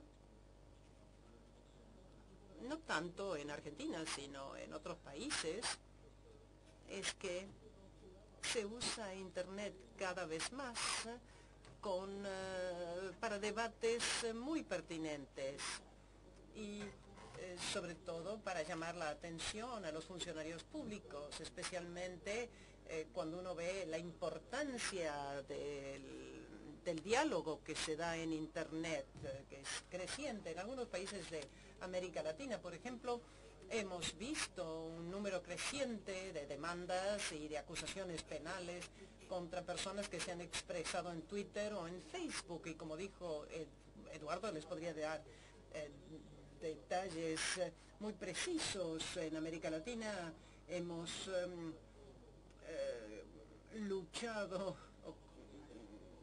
muchos, muchos años para que se quiten las leyes eh, de difamación eh, penal de nuestra legislación. En Argentina, por ejemplo, hace un par de semanas se ha amenazado una demanda por difamación contra una persona que se expresó en Twitter, que no es famosa, no, que simplemente, bueno, participó en un debate público en Twitter. Eso es evidentemente un problema, porque eh, este tipo de amenaza para un periodista establecido o un eh, medio de información establecido, eh, este tipo de amenaza no sería tan malo ni tan escalofriante, pero para una persona individual que se expresa en Twitter, bueno, es, es un poco espantoso. Muchísimas gracias. Sé que en la sala hay eh, muchas otras personas. Está eh, Wilby Biddle de Global Voices, eh, que tiene un comentario acerca de este problema y de los riesgos que, a que se enfrentan los ciudadanos de la NET. Bueno, muchas gracias. Soy Ali Biddle de Estados Unidos. Ellery Biddle soy de una red de medios mundial de ciudadanos dedicada a eh, cubrir las eh, amenazas eh, a los bloggers y lo que yo he empezado a llamar los derechos de los oradores en online, tanto online como offline. Es decir, que esto abarca muchísimas, muchísimos casos en todas partes del mundo, lo que podría ser muy valioso eh, de nuestra red en este tipo de debate es que nosotros eh, contamos la historia de gente que está viviendo amenazas en su propio país. Estamos en una situación un poco difícil porque no solamente estamos cubriendo las noticias, sino que estamos tratando de eh, defender a la gente que se enfrenta a una amenaza jurídica, como acaba de decir Ramiro, o, que ha sido arrestada, o como el autor de Bahrein, eh, que fue detenido. Eh, eh, tenemos otro abogado que fue arrestado eh, hace unas ocho semanas por, acusado justamente de haber defendido a esta persona. ¿Qué hacemos entonces con una persona que se encuentra en un país donde una persona que está tratando de intervenir como abogado, defensor, eh, bueno, afortunadamente le han liberado bajo fianza, pero este, no sabemos muy bien qué va a suceder, cuál va a ser el próximo paso que van a tomar las autoridades. Y esto es, eh, estamos tratando de prepararnos nosotros para conectarnos mejor con la gente en em, estos espacios de política y legales. Me parece, sí, que aquí en el IGF es muy importante que haya mucho debate sobre los derechos humanos, pero pienso que este es un, bueno, son desafíos que van cambiando constantemente, ¿verdad? Muchas gracias. Bueno, muchas gracias. Eh, ya hemos escuchado comentarios sobre las limitaciones a la libertad de expresión y lo que significa para mm, algún tipo de activista, para grupos de profesionales y para los activistas online y offline. No sé si alguien quiere hacer un comentario. Y luego vamos a escuchar a los oradores del eh, grupo de trabajo, del taller. Gracias. Soy Shada Rashid de la India.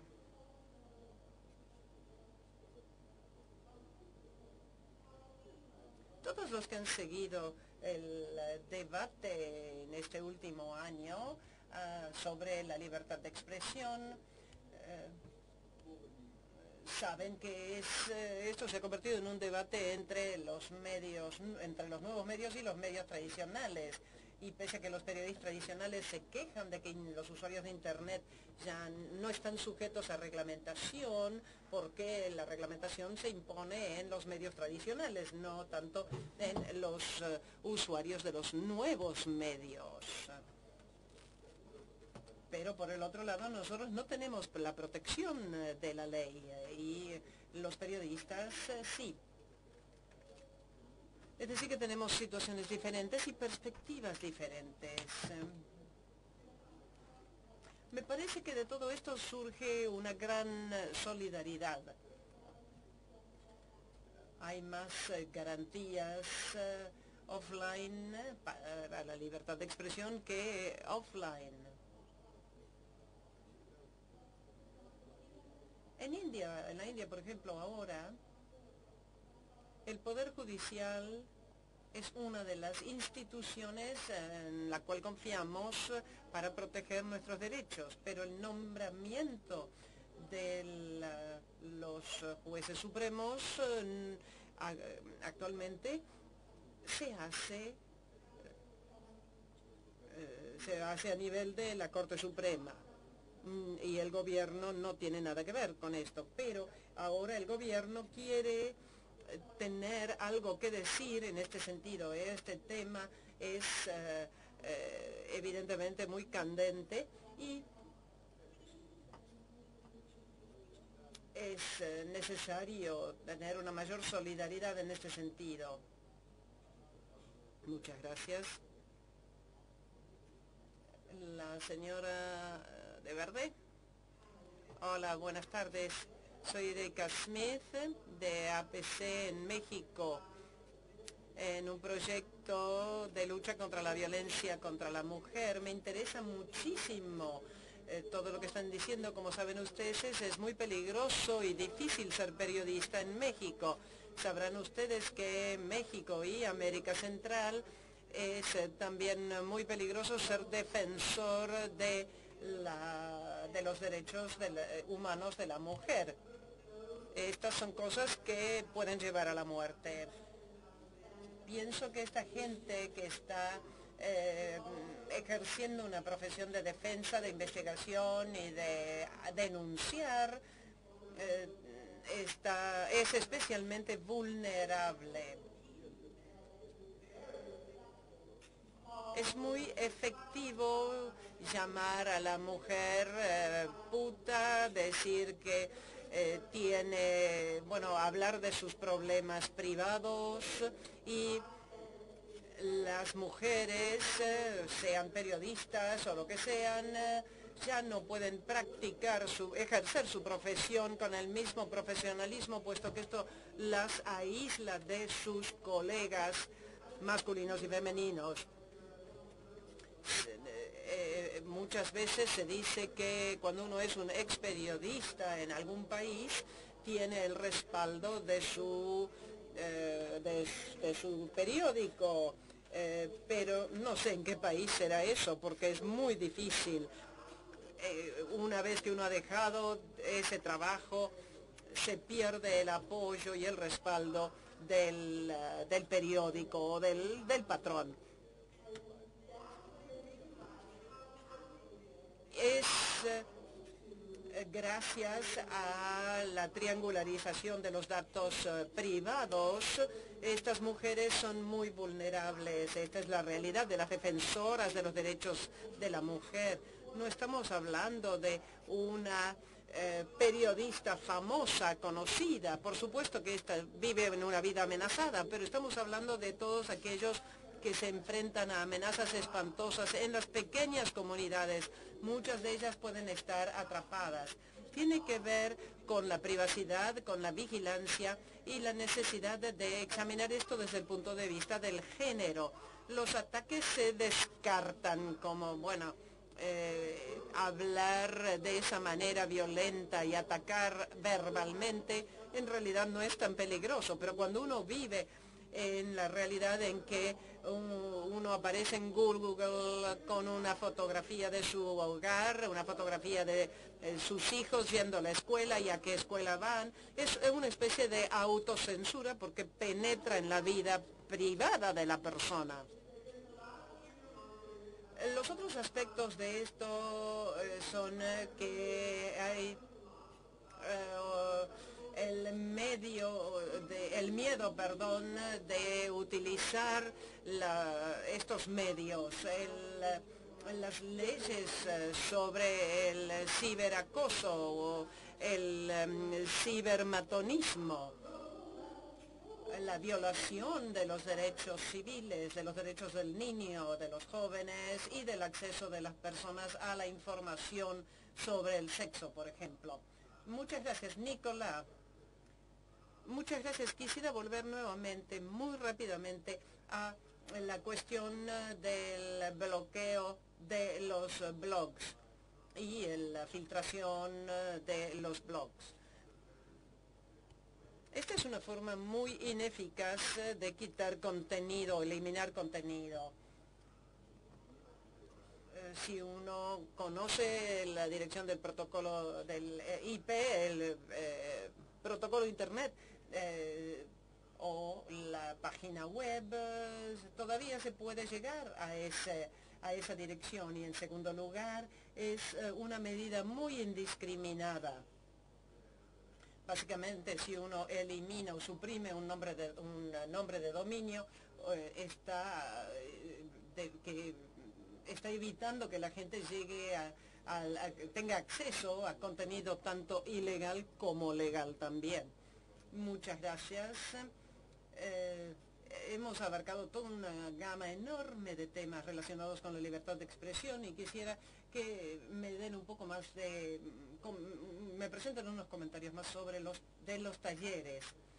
Guy, Guy Berger, bueno, hablamos ayer brevemente en dos talleres sobre el futuro del periodismo independiente la libertad de expresión, sea esta en el periodismo formal u oficioso, una contribución más oficiosa al eh, diálogo público. en general, el eh, valor para la sociedad del periodismo es, eh, es muy grande pero al mismo tiempo el uso de esta libertad de expresión no necesita de, alguien que lo pague, ¿verdad?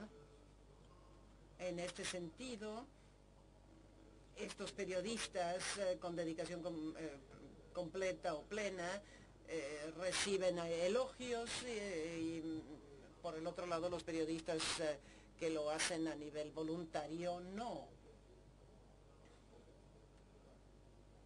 Estoy hablando de gente, de periodistas eh, que investigan eh, profundamente, eh, en detalle, etcétera. Esto incluye, por supuesto, subsidios o subvenciones del mundo de la tecnología, tal como Jeff Basal y el Washington Post. Esto está basado en investigaciones del Foro Económico Mundial y se presentó en este taller es muy bueno tener este uso de la libertad de expresión, pero también se necesita la seguridad. Y rápidamente voy a hablar del segundo taller.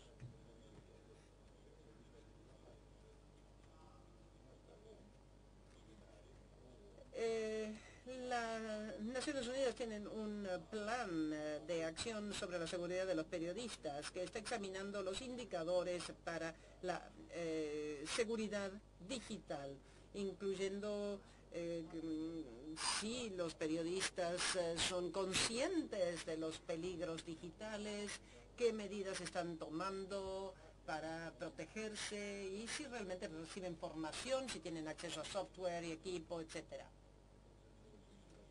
Sobre esta cuestión de la seguridad hay un proyecto de investigación de la UNESCO. Este estudio ha identificado hasta siete tipos de peligros o de áreas de peligros digitales a que se enfrentan los periodistas al utilizar la libertad de expresión. Tenemos, eh, por supuesto, las mismas protecciones que suelen eh, aplicarse a los eh, periodistas tradicionales. Eh, por ejemplo, el derecho de proteger las fuentes, la garantía de la seguridad y el uso creciente tenemos de las demandas eh, judiciales eh, contra de los periodistas. Se dijo que la documentación del ciudadano en eventos claves, tales como las protestas en Brasil, Em, realmente se está convirtiendo en algo muy importante dentro de este contexto. Tenemos primero entonces a Sonia. A ver. Taller 220. Los derechos humanos online.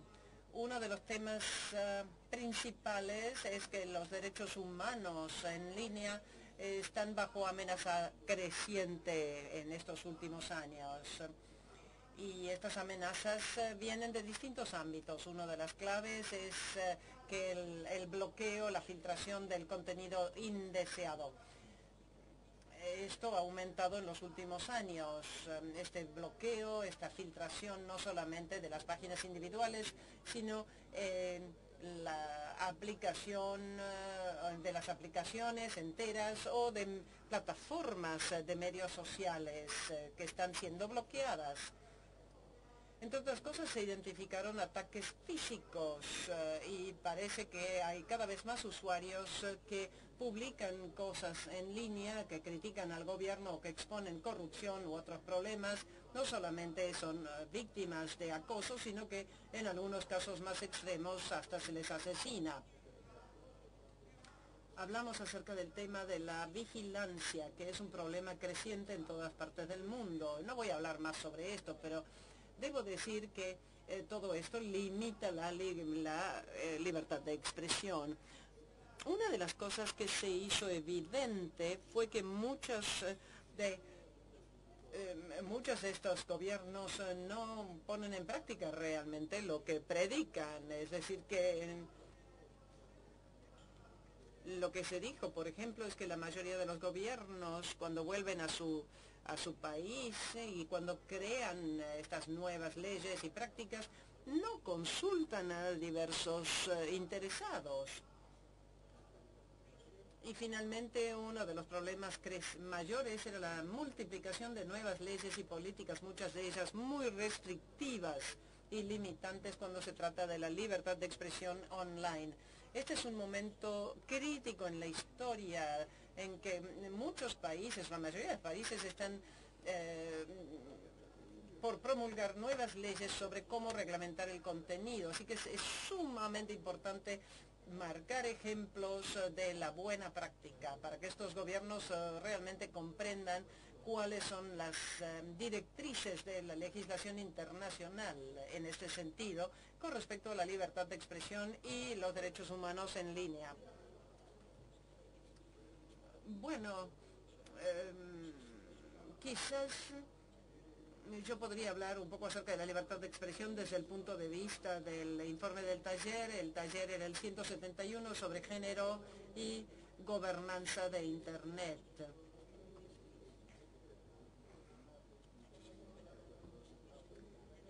pese a que más mujeres y personas eh, contra las que se discrimina y en desventaja están ingresando en este espacio para ejercer su derecho a la participación pública, eh, siguen siendo víctimas de violencia.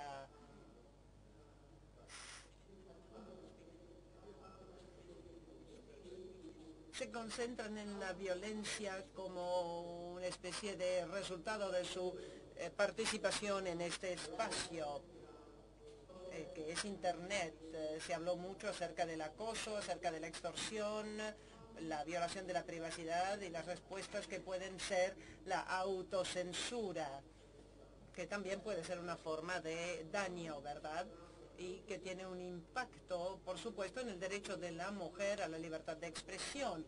Esto, ahora mis propios comentarios. Eh, una de las limitaciones legítimas a la libertad de expresión es la cuestión que se mencionó antes y es la de la moral pública.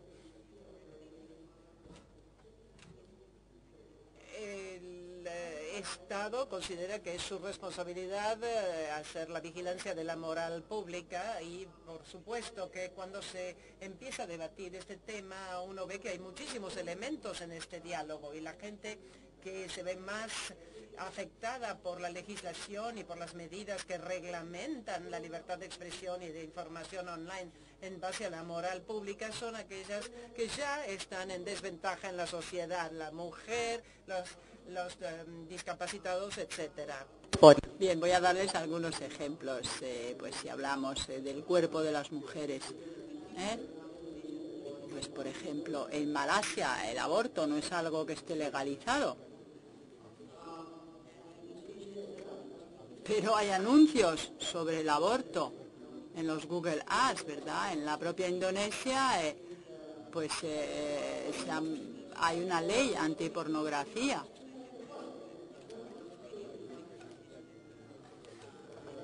O sea que, en fin, y lo dejaré en esto. Sí, luego si quiere tendrá otra oportunidad.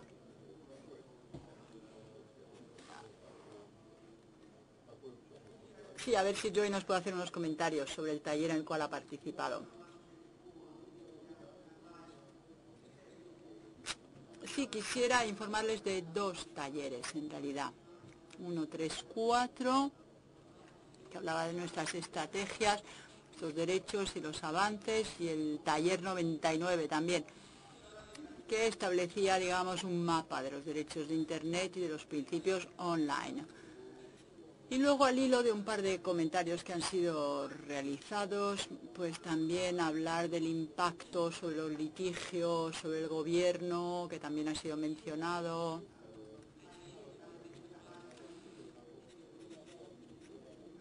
O sea, aquí desde el IGF, yo creo que en fin, sin eh, la menor duda, aquí tenemos eh, los representantes de instituciones nacionales al más alto nivel ¿eh? y estamos todos aquí intentando eh, comprender qué tipo de respuestas aportar a la libertad de expresión a estos temas en su contexto. O sea que creo que es un aspecto importante que tener en cuenta.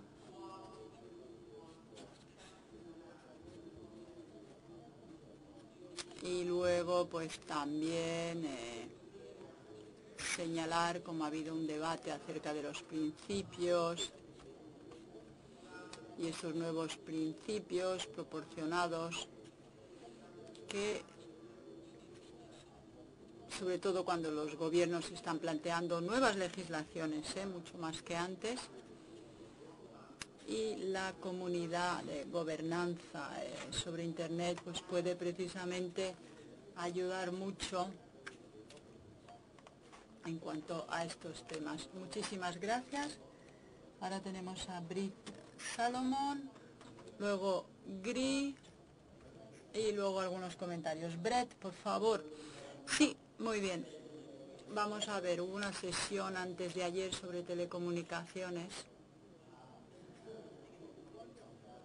y el cierre de redes y creo que en el contexto de la vigilancia las personas pasan mucho tiempo pensando en torno a esta cuestión. estudiamos una serie de estudios de casos, a la redundancia, el más reciente de ellos el 25 de septiembre y 26 en Khartoum, en Sudán. Cuatro eh, compañías de telecomunicaciones tuvieron que cerrar durante una serie de protestas eh, en Khartoum y estudiamos pues, las implicaciones que ello tiene desde el punto de vista de derechos humanos. Teníamos un y creemos que nunca hay ninguna justificación que se pueda admitir para obligar a cerrar eh, la conexión a internet. O sea que... Bien, pues eh, enhorabuena. Eh, Gris, tienes la palabra. Soy Gris. Gripins desde el Consejo de Medios eh, de Comunicación danés. Así que muy rápidamente nuestro taller, que llevaba el número 308, eh, evocó las cuestiones de la privacidad y de la innovación. Y ha habido muchísimos debates, pero entre los cuales suele haber colisiones en torno a estas cuestiones. O sea que es importante tener verdaderas inversiones, ¿eh? y voy a explayarme más adelante sobre lo que significa este término. Inversiones en privacidad y en estos espacios libres, eh, donde la creatividad y la innovación eh, pueden realmente crecer y darse. Por supuesto, esto es importante no solo para los individuos, sino para la sociedad en sí. O sea que la privacidad no hay que considerarla como un obstáculo a la innovación, ni muchísimo menos, sino como la base de esta. Teníamos a cinco jóvenes en el taller y precisamente nos interesaba mucho su presencia, porque los usuarios cada vez solicitan más transparencia y control del contexto. ¿eh? Y esto hemos oído hablar mucho hoy de la confianza que hay que tener en los servicios que se utilizan, tener una elección en cuanto a la interacción y también hemos oído hablar de este aumento de privacidad, de intercesión de cara a los consumidores, este tipo de movimientos, o sea que todas ellas son cuestiones que deben tenerse en cuenta la hora de desarrollar nuevas legislaciones. Yo no puedo sino repetir lo que ya se ha dicho antes, que hay que volver a crear esta confianza. ¿eh? Otro modelo de negocios también es algo importante. Esto significa una nueva manera de encarar la privacidad, o sea, como no se trata de encararlo solo como una idiosincrasia, una nueva idiosincrasia verde, ¿eh? no. Hay una gran falta de equilibrio actualmente en cuanto a las inversiones que se realizan en cuanto a la vigilancia, a la tecnología, respecto a lo que se invierte en la privacidad, en nuevas tecnologías con este objetivo. ¿eh? Porque precisamente lo que están solicitando los usuarios, llevo nueve años trabajando con jóvenes ¿eh? y he podido comprobarlo, solicitan un control y solicitan una confianza, poder tener una confianza en los servicios que utilizan. ¿eh? O sea que hay que invertir en la innovación en cuanto a la privacidad. Fenomenal, muchas gracias. ¿Teníamos algún otro taller sobre libertad de expresión que desee tomar la palabra? Moes ha solicitado hacer uso de la palabra. Muchas gracias. Sí, pues eh, muy rápidamente el foro abierto sobre la libertad y la coalición coalición en línea.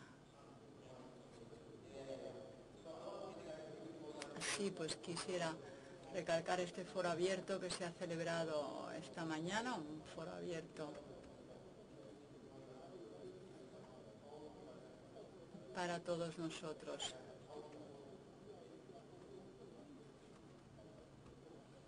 Muy rápidamente. Hacer hincapié sobre la importancia que reviste el seguir debatiendo de estas cuestiones. Esto es lo que quería decir. Muchas gracias. We have one more here. Okay. The mic is on its way.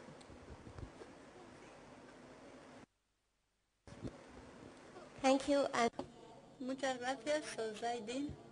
Los países en desarrollo, Zara Din, del Centro de Desarrollo para eh, los Ciberdelitos en Pakistán.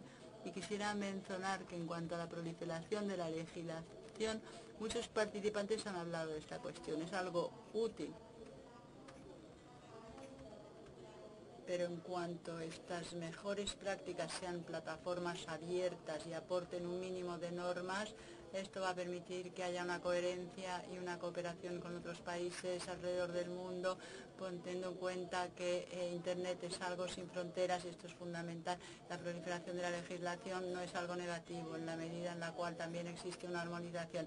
Además, la legislación también debería asegurarse de que hay mecanismos para los que quieren vender tecnología que promueve violaciones de derechos humanos, que deberían ser prohibidos. Muchas gracias. Hay más talleres sobre libertad de expresión. In that case, we're running a little bit behind schedule now, so I'm eager to continue. Bien, pues eh, Marian, ¿quieres tomar tú la palabra ahora?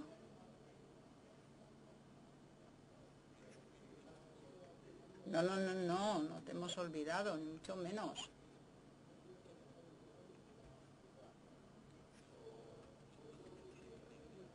Pues vamos a seguir.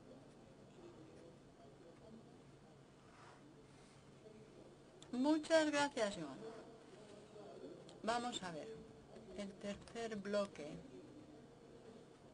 de las secciones eh, basadas en torno a un tema ah, hablaba de la apertura en Internet y de su relación con la libertad de expresión. Entonces, habló, primero le pedí a Claudio Ruiz, le hice una pregunta sobre esta cuestión relacionada con los derechos de autor. Hace unos años, pues de repente se comenzó a prestar una atención a esta cuestión cuando toda la campaña en contra de Sopa, Pipa y eh, la ley ACTA eh, alcanzaron un cierto nivel y esta campaña también se difundió hasta Europa. Entonces, Claudio, ¿qué ocurre con esta cuestión? ¿En qué punto nos encontramos? Sé si alguien le puede dar un micrófono a Claudio.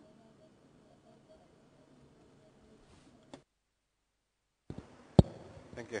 Um, I was supposed to be censored, maybe, but okay. Um, well, thank you uh, very much, Anya. Um, I, I, would like to, to highlight a couple of... Muchas gracias. Pues sí, hacer hincapié sobre un par de ideas. Relacionadas con el acceso al conocimiento, al movimiento de conocimiento particularmente la relación entre copyright, derechos de autor y libertad de expresión. Cuando Eduardo dijo al comienzo que existían amenazas en nuestro continente, en nuestra región, en Latinoamérica, pues tenemos una serie de ejemplos muy negativos en nuestra región, es cierto.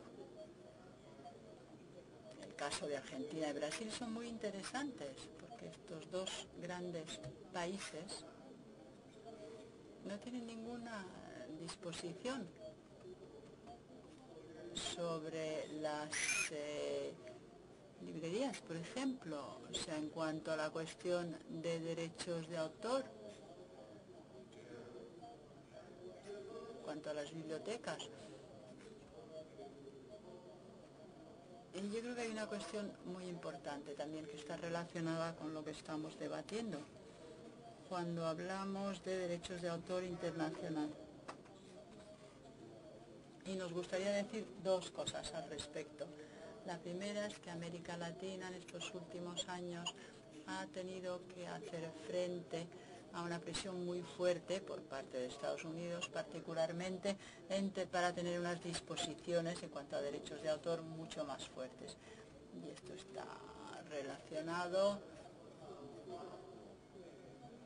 con eh, la actitud de la FDA, o sea, los acuerdos de libre comercio, ¿eh? debido a la firma de dicho tratado.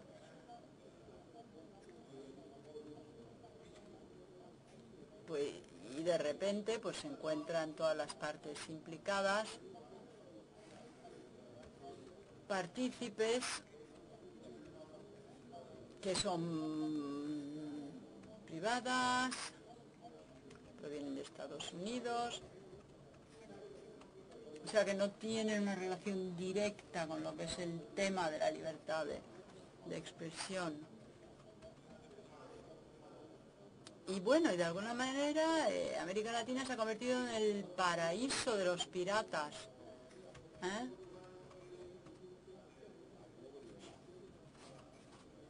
O sea que hay un gran debate que Chile, México y Perú, en fin, países muy importantes que están ahora mismo formando parte de la negociación con un tratado que para empezar nadie sabe exactamente de qué se debate, pues son negociaciones secretas y lo único que hemos podido saber pues es acerca de las propuestas de Estados Unidos en febrero del 2011, es lo que se supo. Así que, en fin, yo creo que es importante hacer hincapié sobre la postura del Estado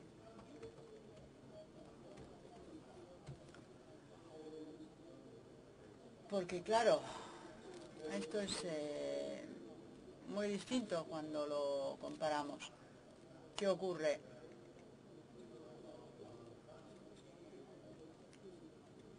Mm, si hablamos de los países en desarrollo, en la región, Chile, etcétera, pues es que claro, efectivamente, aquí está el elefante en la tienda de porcelanas. ¿eh? Bueno, pues sí, esta es una gran inquietud. Muchas gracias, Claudio, para muchos activistas. Y ahora me gustaría que tomase la palabra Nick Hyran, quien lleva varios sombreros. ¿eh? Y entonces, Nick, una de las cuestiones por las cuales me gustaría que tomases la palabra es para que planteases una cierta controversia. ¿eh? Me parece estupendo que no estuvieras de acuerdo con Claudio. Vamos a ver no sé cuán controvertido podrán ser mis propósitos. Lo que sí sé es que vemos como cada vez más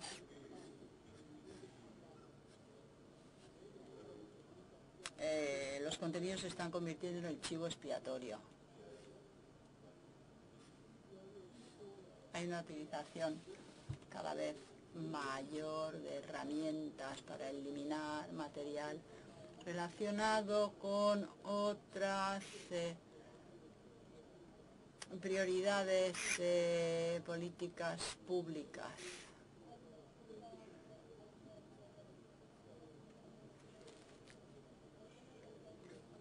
O sea que yo creo que a todos nos interesa que Internet aporte el mejor servicio para el mayor número de personas al menor precio posible. ¿eh? O sea que cuanto más se perciba que existe un riesgo para aportar un acceso a un material o de que algunos países pueden o no pueden permitir que haya un cierto material que transite por su país o que el sistema de nombres de dominios o parte del sistema de nombramiento mm, se ha utilizado de cierta manera, pues, eh, en fin, yo creo que mi experiencia en Ginebra, desde luego, es que no hay, los políticos no entienden muy bien cómo funciona Internet, o sea, esa es la esta, es la realidad. Están los que visitan Ginebra, los otros que viven allí y tal. y las selecciones que se realizan en cuanto al contenido, pues en fin, creo que todos tenemos una tarea que realizar de explicación, explicar eh, por qué funciona el milagro que representa eh, la capacidad de añadir y añadir sin tener que pedirle permiso a nadie prácticamente. Pero es que claro, este milagro también depende de una cierta contención y de asegurarnos de que una serie de acciones que se llevan a cabo por motivos políticos dentro de un país no son interpretadas de manera a socavar eh, la red eh, en general y su capacidad de aportar servicios, particularmente teniendo en cuenta que nos encontramos solo a 40% de conexión a nivel mundial actualmente. O sea que a mí lo que me preocupa es que pues eh, realmente cada vez es como que hay más motivos para interferir, acerca de las personas pueden encontrar, decir o, ver. Muchas gracias, eh, Nick. Gracias por esta contribución. Y ahora Stewart Hamilton va a tomar la palabra.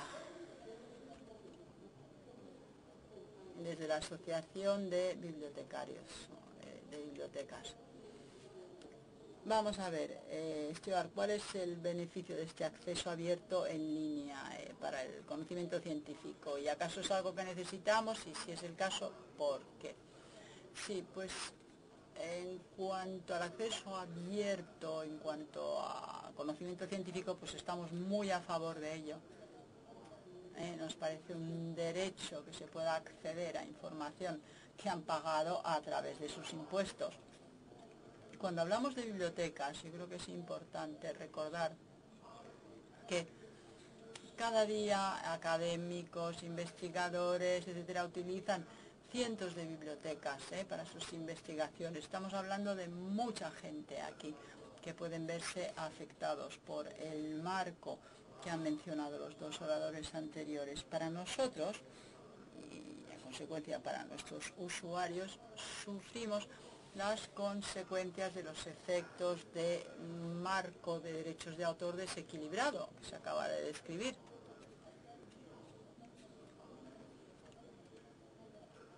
O sea que para preservar, eh, pues por ejemplo, este patrimonio cultural, ponerlo a disposición, acceder a artículos, incluso el préstamo de eh, materiales. Todo esto en la era digital pues está cambiando, nos, llevamos, nos dirigimos más hacia un sistema de eh, licencias de, en el cual se imponen restricciones, no se puede citar, no se puede imprimir, son patentes, ¿verdad?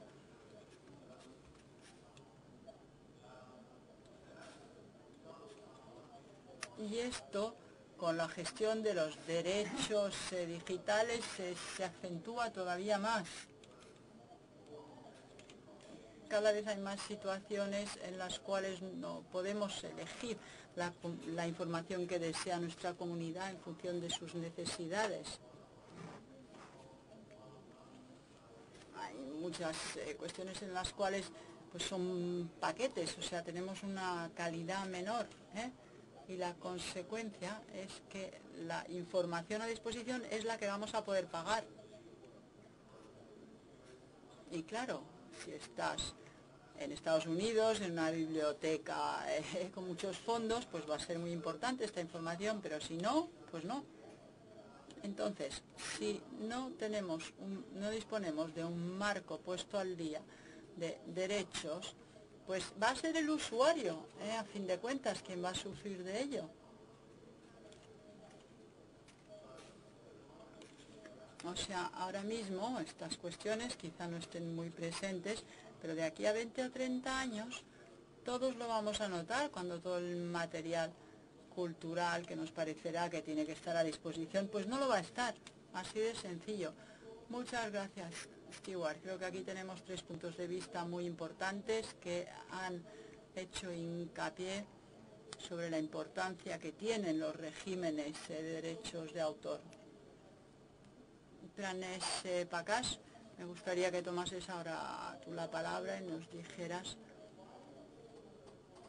por qué es tan importante esta apertura y cómo puede apoyar nuestros derechos. Eh, muchas gracias, Ania. Internet pues se ve como un bien público, un espacio público. ¿Pero acaso está estructurado para que así sea? Ahora mismo vivimos en un mundo de contratos, de leyes privadas, de propiedad privada y no derecho público. Entonces, la gestión de estos derechos, las medidas de protección que ha evocado Stuart, pues se aseguran de que esta aplicación privada a través de una tecnología que no respeta las excepciones que aparecen, esto se está convirtiendo en una norma en India, por ejemplo, hay una serie de excepciones para materiales educativos,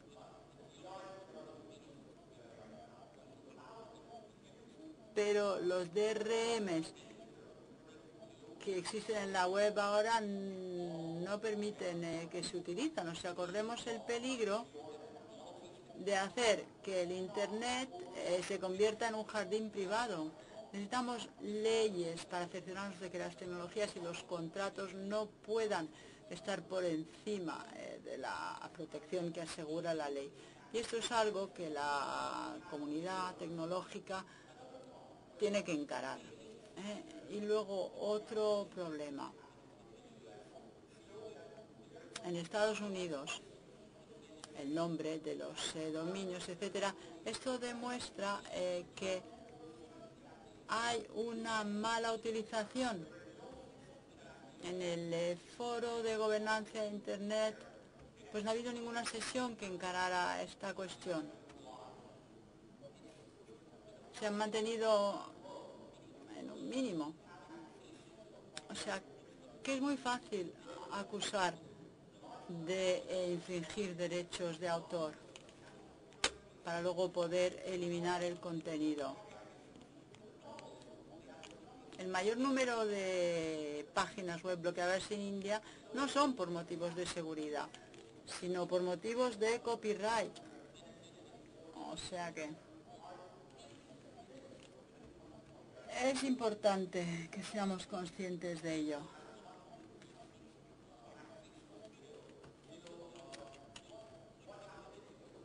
Lo que ha ocurrido en India es que un tribunal dictaminó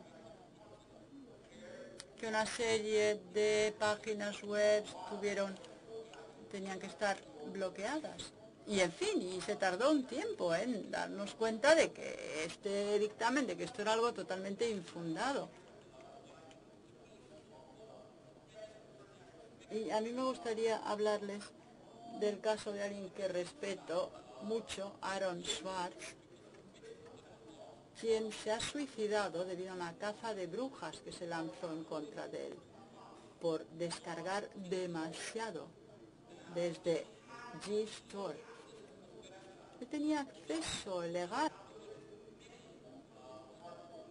pero descargaba demasiados artículos del website y se lanzó una caza de brujas.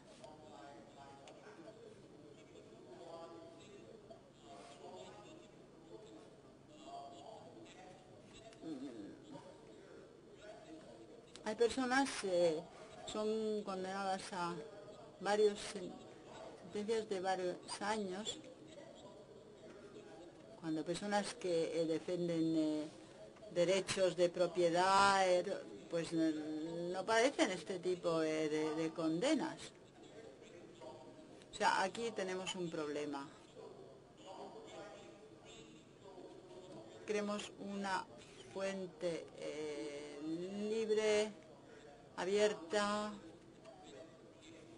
un software libre para evitar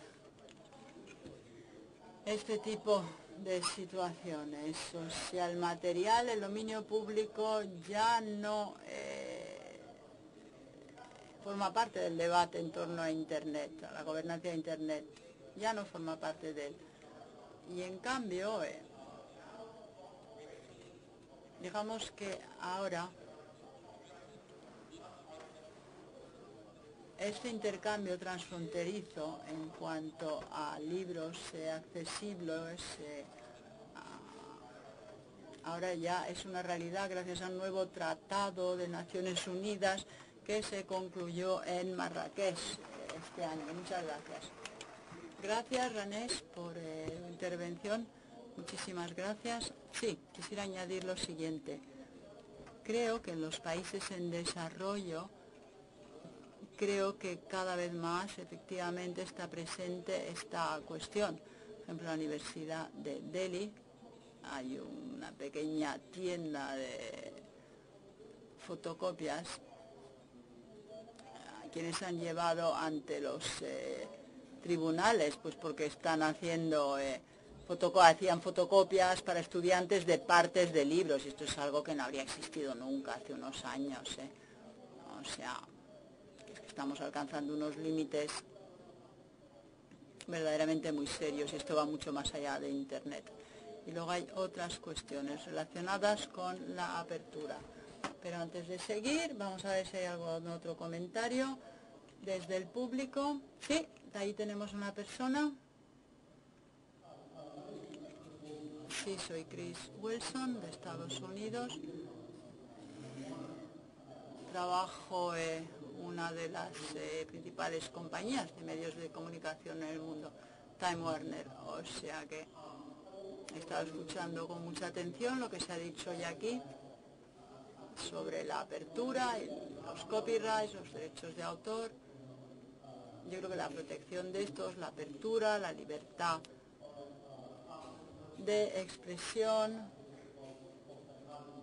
etcétera, yo creo que es una falsa dicotomía realmente. Hay abusos, como no,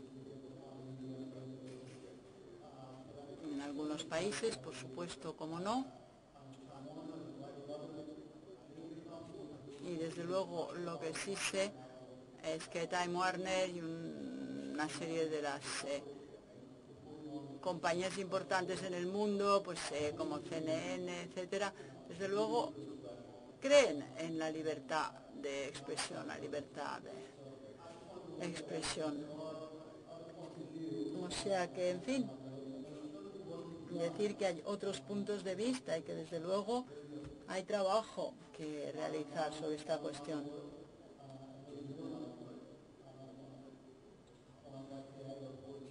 Y los foros eh, como el de hoy pues son lugares de debate importantes. O sea que creemos profundamente en la libertad de expresión y que, en fin, y que compartimos estos valores. Muchas gracias. Yo creo que Claudio tiene una rápida respuesta que aportar. Claro que sí, cómo no. Bueno, el hecho de que haya muchos reglamentos eh, anti-pornografía infantil eh, no significa que estemos a favor de la pornografía infantil ¿eh? y el que estemos en contra de estos reglamentos. O sea que lo mismo ocurre. Siempre hay tensiones entre estos derechos humanos, no es algo que se pueda poner sobre la mesa, siempre hay una tensión, un movimiento, ¿verdad? O sea que aquí estamos encarando muchas cuestiones, cuestiones importantes,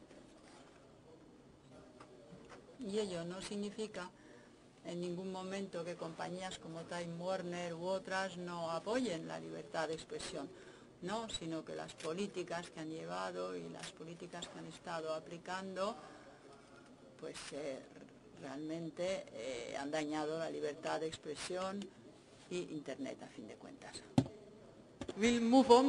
Gracias, Claudio. Seguimos adelante entonces y me parece que este, estos talleres, estos debates son sumamente valiosos. Ven ustedes en la pantalla una serie de preguntas compiladas eh, con, mediante un proceso de consulta pública.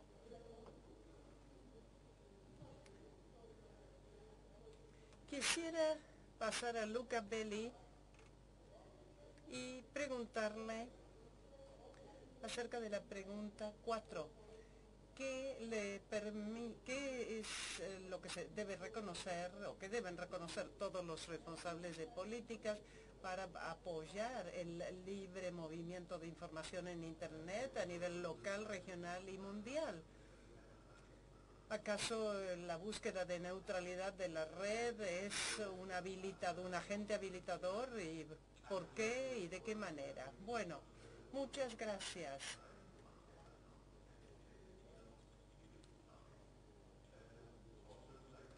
Quisiera presentarles información sobre esto para tratar de llegar a una especie de consenso, eh, lo que es bastante difícil y me refiero justamente a las características esenciales de Internet que son la apertura y la neutralidad. Deben ser fomentadas así como garantizadas para que exista un libre movimiento de información. La apertura y la neutralidad son las características de la Internet que hacen que ésta sea un eh, promotor fundamental de la innovación, así como un habilitador, em, facilitador de los derechos humanos. Fomenta la creatividad eh, y además sabemos que hay eh, ciertas técnicas de gestión de tráfico que pueden afectar en forma negativa esta apertura, esta, la arquitectura abierta y neutral y que pueden afectar, por supuesto, negativamente los derechos humanos. Es así que el segundo punto de consenso debería ser que la neutralidad de la red no solo debe considerarse desde el punto de vista de la perspectiva de la competencia, sino también de la eh, perspectiva de los derechos humanos. Es una cuestión que tiene consecuencias sobre los derechos del consumidor y evidentemente una consecuencia sobre el derecho de distribuir y recibir información por Internet y por Internet y también eh, tiene consecuencias eh, obvias sobre la capacidad del usuario final de ser un participante activo en Internet y compartir su información en Internet. Y esto nos lleva al tercer punto, que es la necesidad de preservar la neutralidad de Internet y eh, debemos eh, enmarcar las técnicas de gestión de tráfico de forma tal que eh, se respeten las normas de derechos humanos. algún tipo de herramienta reglamentaria se necesita, sí, pero no cualquier herramienta al azar. debe estar basada en, debe tener fundamentos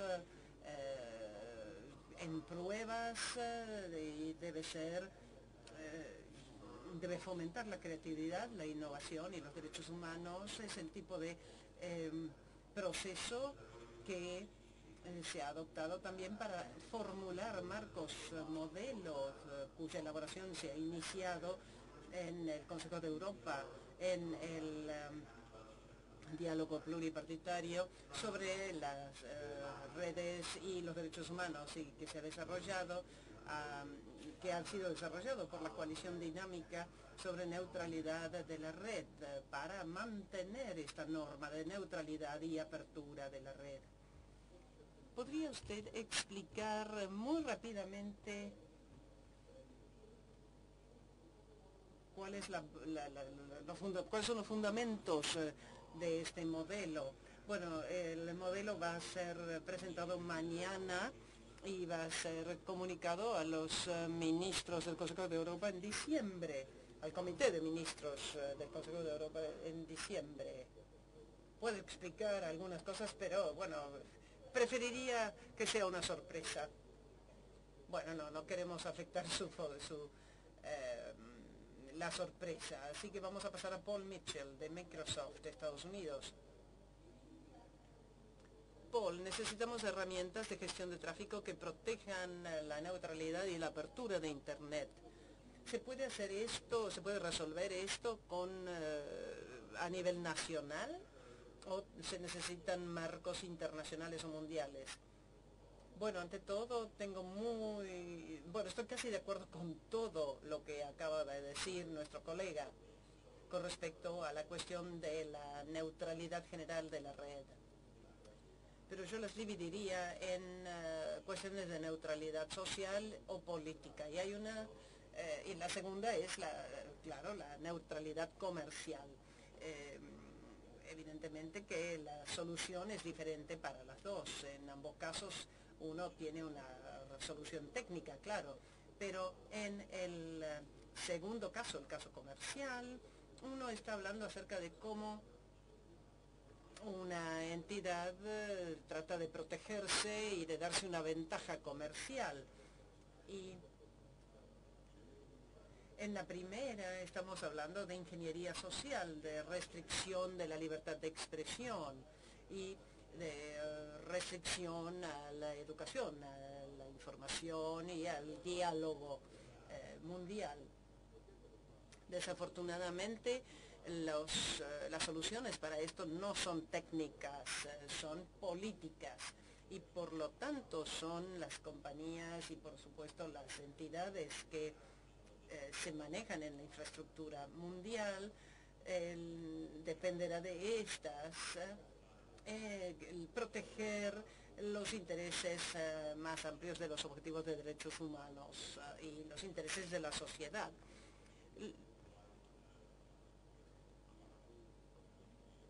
Es preciso comunicar y proteger estos, em, estos principios en una de forma realmente amplia y eso está sucediendo cada vez más eh, en el mundo occidental desarrollado, pero no tanto en otras partes del mundo. en realidad eh, eh, tenemos una respuesta dual, digamos. tenemos una presión mundial y una idea mundial para abordar este aspecto social y político, pero la puesta en práctica va a exigir eh, reglamentación a nivel local y puesta en práctica a nivel local de redes de sistemas de gestión de tráfico. Bueno, muchas gracias, Paul. Veo por qué estás eh, dividiendo los aspectos comerciales por un lado y los sociales por el otro, pero, por supuesto, desde el punto de vista de un negocio, pero en realidad me pregunto cuál es el impacto y si es un impacto negativo en la libertad de expresión. Luca, tenías un comentario. Bueno, sí, tenemos también eh, aspectos en la ley de la eh, competencia, ¿verdad? Eh, y esto es fundamentalmente incorrecto. Me parece que en eso estamos de acuerdo. ¿Y no ven ustedes algún tipo de, preocupación cuando se dividen estas cuestiones? La cuestión es la apertura y la neutralidad, es decir, en la gestión de tráfico que no discrimine, facilitando la libertad de innovación, la libertad de expresión. Cuando tenemos libertad de innovación le permitimos al usuario participar en Internet y compartir sus ideas y su creatividad. La mejor innovación, la, que más perturba en Internet, eh, se, la producen los usuarios finales, ¿verdad? Que comparten sus innovaciones gratuitamente en Internet. Gracias por esa aclaración. Eh.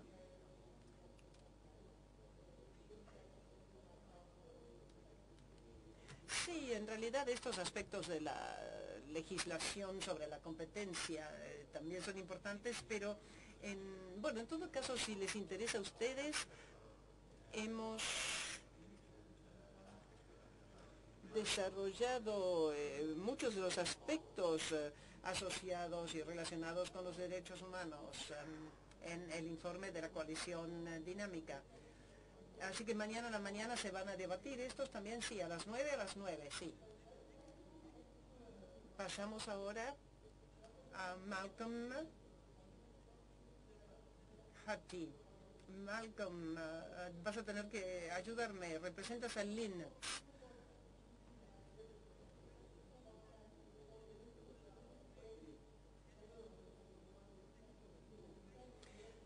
En, um, hay una pregunta aquí eh, en esta lista que se refiere en términos muy generales a cuál es el efecto de la libertad de expresión, pero quisiera que prestemos un poco de, más de atención sobre esto que ha recibido mucha atención en los últimos años. Bueno, voy a ver si eh, puedo aclarar esto.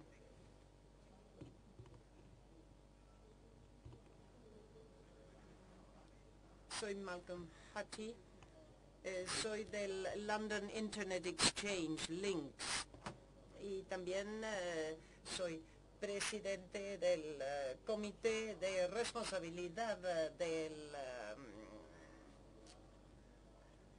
Comité Europeo de esta bolsa de Internet de Londres. Algunas eh, de las compañías que represento cuentan con eh, la capacidad jurídica eh, y otras están de defender los derechos humanos, mientras que otras son pequeñas compañías que son más vulnerables. Pero cuando hablamos de la libertad de expresión y las violaciones de esta libertad de expresión, estamos hablando más que nada de un periodista o una persona que hace una campaña o y francamente las, las eh, compañías eh, no reciben el apoyo del público necesario. Eh, cuando las compañías salen adelante en ese sentido, sabemos que es porque tienen el dinero, que no es el caso de las personas a título individual. Cuando se trata de cuestiones de difamación, la persona que está diciendo algo eh, sabe por qué lo está diciendo y sabe si es cierto en general. Pero la compañía, que es un intermediario, en realidad no sabe forzosamente si la queja por difamación no está o si está justificada. Así que yo diría que la protección de la responsabilidad de los intermediarios es eh, indispensable si los usuarios, para que los usuarios puedan disfrutar realmente de los derechos humanos y de la libertad de expresión que se les ha otorgado en eh, teoría. Eh, la legislación europea brinda bastante protección, pero no, lo, no es completa. Y en el Reino Unido hemos visto una correlación clara entre estas áreas, que son las más frágiles, las más débiles, eh, cuando eh, y eh, la posibilidad de problemas. Así que en el Reino Unido hemos visto órdenes de bloqueo que, que emanan de jueces cuando las cosas se han bloqueado, que en realidad no han sido sujetas a un examen judicial apropiado, o donde en realidad no ha habido una verdadera violación. Sabemos, por ejemplo, que bloqueamos eh, los eh, problemas eh, de, los sitios que infringen los derechos de autor. Y debo decir que hemos visto, por ejemplo, que nuestros registros nacionales de dominio han tenido, mm, la policía les ha exigido que suspendan ciertos nombres de dominio cuando se les acusa de algún tipo de infracción de este tipo. Ahora, mi pregunta es, ¿acaso debemos concentrarnos en eh, estos casos, estos principios de libertad de expresión que ya existen en un contexto general y si, o sería quizás más eficaz asegurarnos de que los usuarios tengan la oportunidad práctica de disfrutar de los derechos que ya tienen, estableciendo las protecciones más vigorosas que podamos para y que se puedan lograr para los intermediarios en eh, los cuales se ejercen esos derechos. Bueno, estamos quedándonos sin tiempo desafortunadamente y hay eh, dos personas más en mi lista que querrían hacer un breves comentarios. Y si hay alguien tiene una necesidad apremiante de hacer un comentario, eh, les reservo un segundito. ¿Dos minutos más? ¿Dos minutos? Un minuto. Voy a describir una situación local que tiene em, conexiones internacionales. En Pakistán eh, saben ustedes que tenemos una legislación eh, con respecto a la responsabilidad de los intermediarios. Saben también acerca de la situación en la cual Facebook y YouTube fueron suspendidos. Lo que es interesante saber es que la persona que publicó el contenido no era la meta, el objetivo de todo esto, sino las empresas y la plataforma y los proveedores de servicios que se convirtieron en, es decir, los empleados eh, que fueron eh, el objetivo de este tipo de acción. Pero, ¿en qué resultó todo esto? Alguien fue a los tribunales para ver cuál sería el resultado. Los tribunales dijeron, bueno, examinemos la ley de, eh, los, eh, de la responsabilidad de los intermediarios y lanzó eh, en efecto una, una legislación de cibercrimen que tenemos en Pakistán. Hubo una especie de colisión aquí, de repente teníamos bueno, la ley modelo de la UIT, denominada HIPCA, tenemos la convención modelo de Budapest. Y pero bueno, no sé muy bien, estas leyes modelo, tenemos una para, tenemos tres, una para el Caribe, una para el Pacífico y una para la región subsahariana. Es interesante ver qué es lo que hace. Los crímenes religiosos son cibercrímenes, la blasfemia es un cibercrimen. Ese es un modelo de ley de la UIT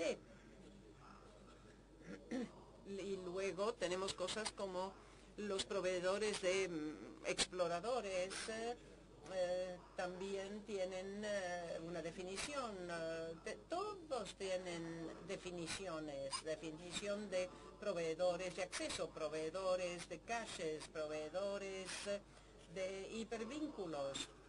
¿Y cuál es la diferencia entre estos proveedores desde el punto de vista de la responsabilidad?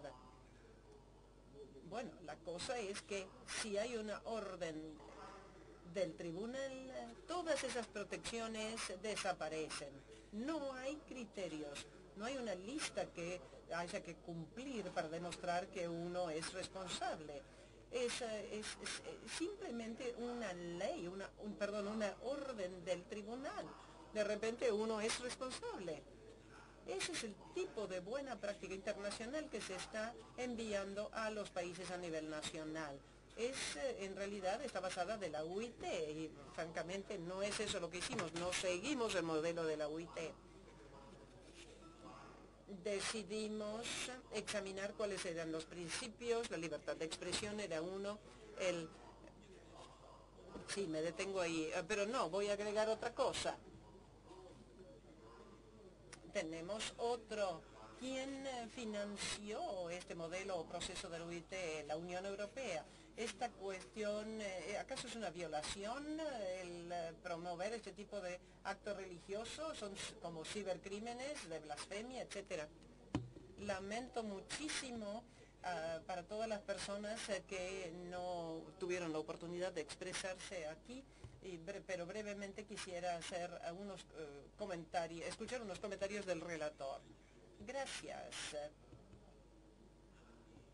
A principios de la semana, la Autoridad de Reglamentación de Telecomunicaciones de Nigeria sacó un aviso de página entera en uno de los periódicos de Nigeria principales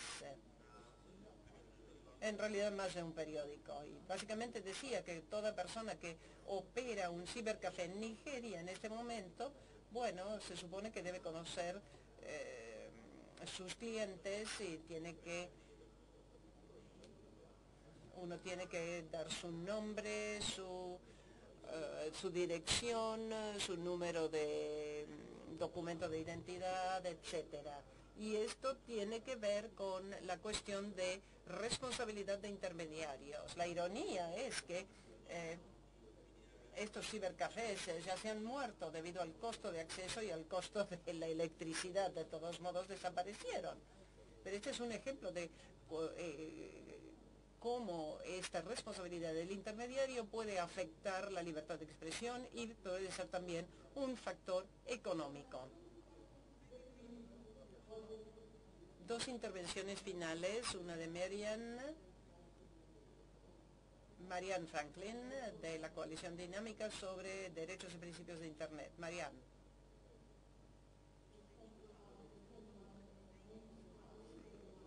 Voy a decir una sola cosa apoyo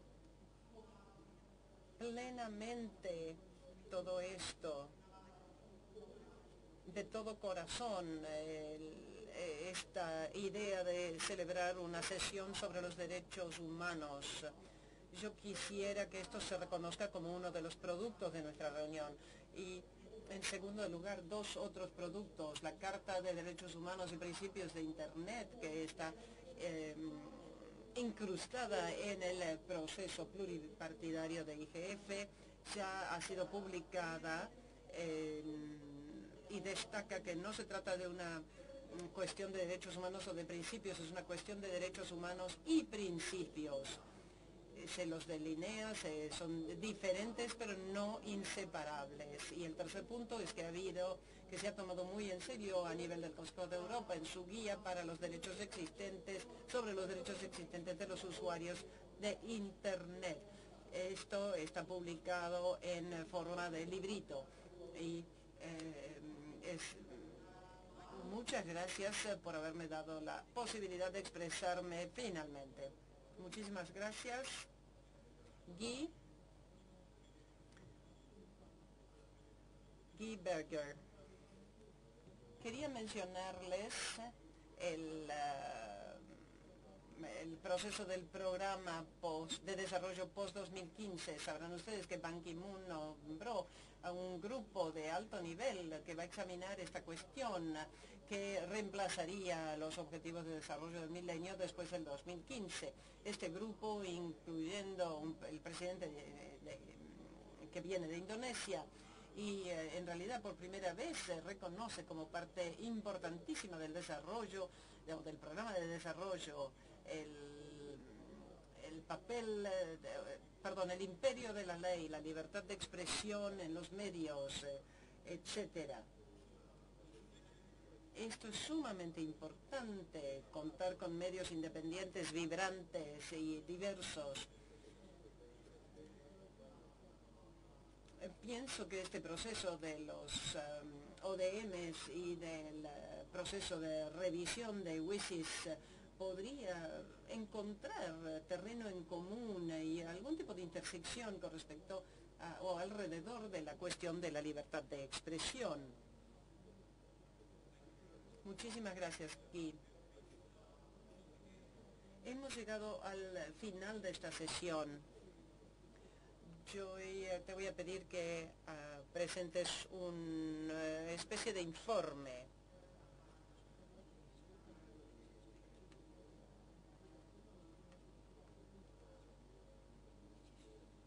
Bueno, eh, muchas gracias.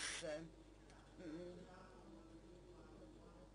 primeramente pienso que debería hablar un poco acerca de las cuestiones de política que se examinaron aquí.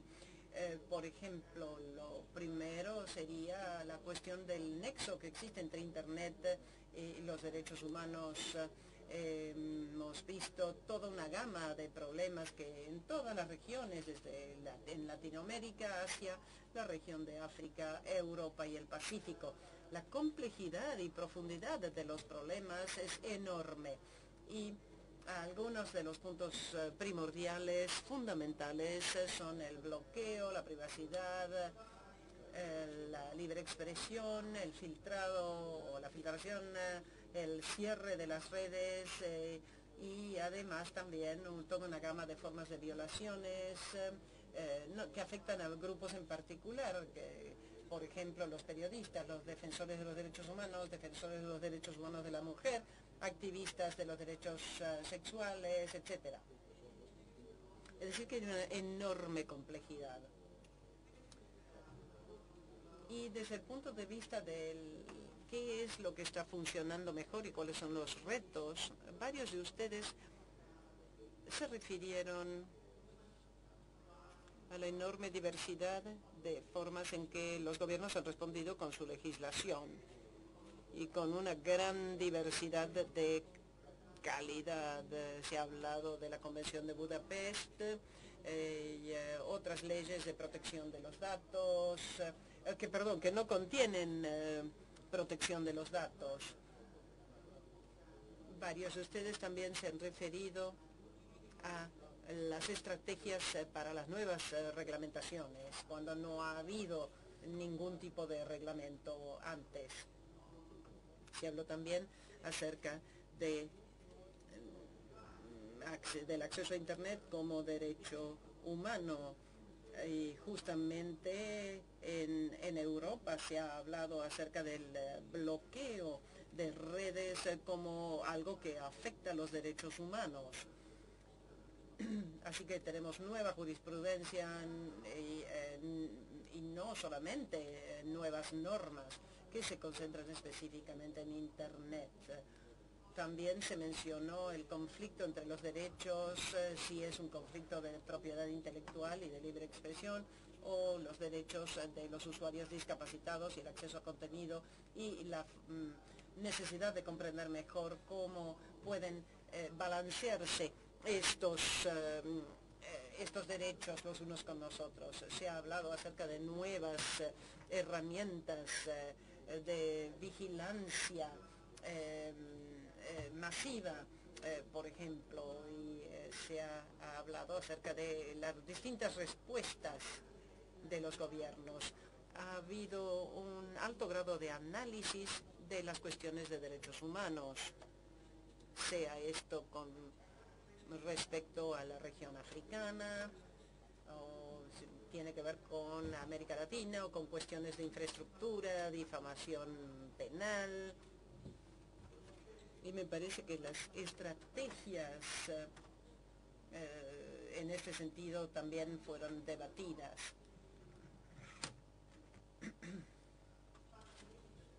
Con respecto a ese nexo entre los derechos fundamentales eh, y el desarrollo de la Internet, el tema común en este debate era eh, cómo mantener la apertura de las normas de Internet y combinar esto con el deseo de tener limitaciones razonables en línea.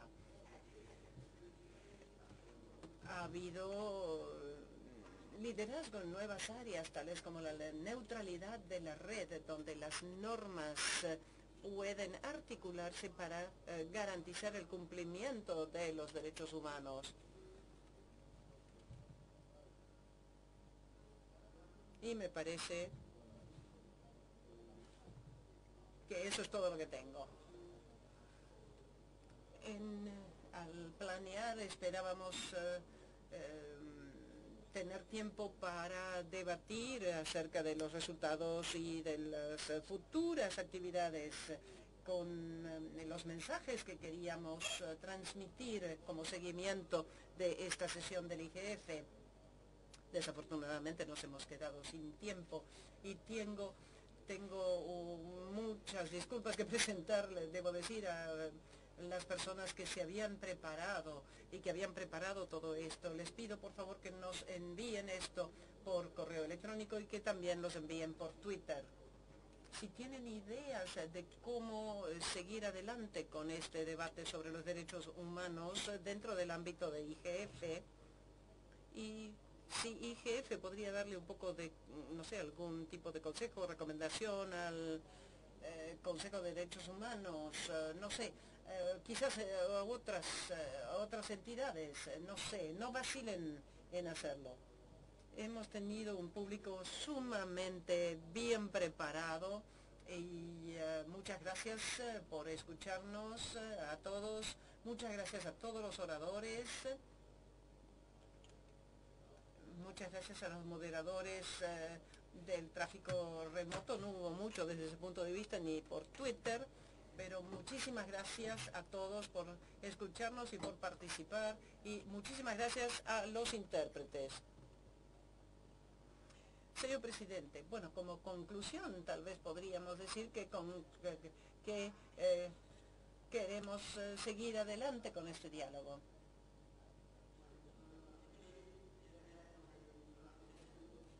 Hemos eh, celebrado una sesión sumamente interesante esta tarde sobre la apertura, los derechos humanos y la libertad de expresión y la libertad de expresión eh, por Internet. Hemos hablado acerca de los ciberproblemas. Hemos escuchado unos 50, unas 50 intervenciones en un diálogo muy dinámico.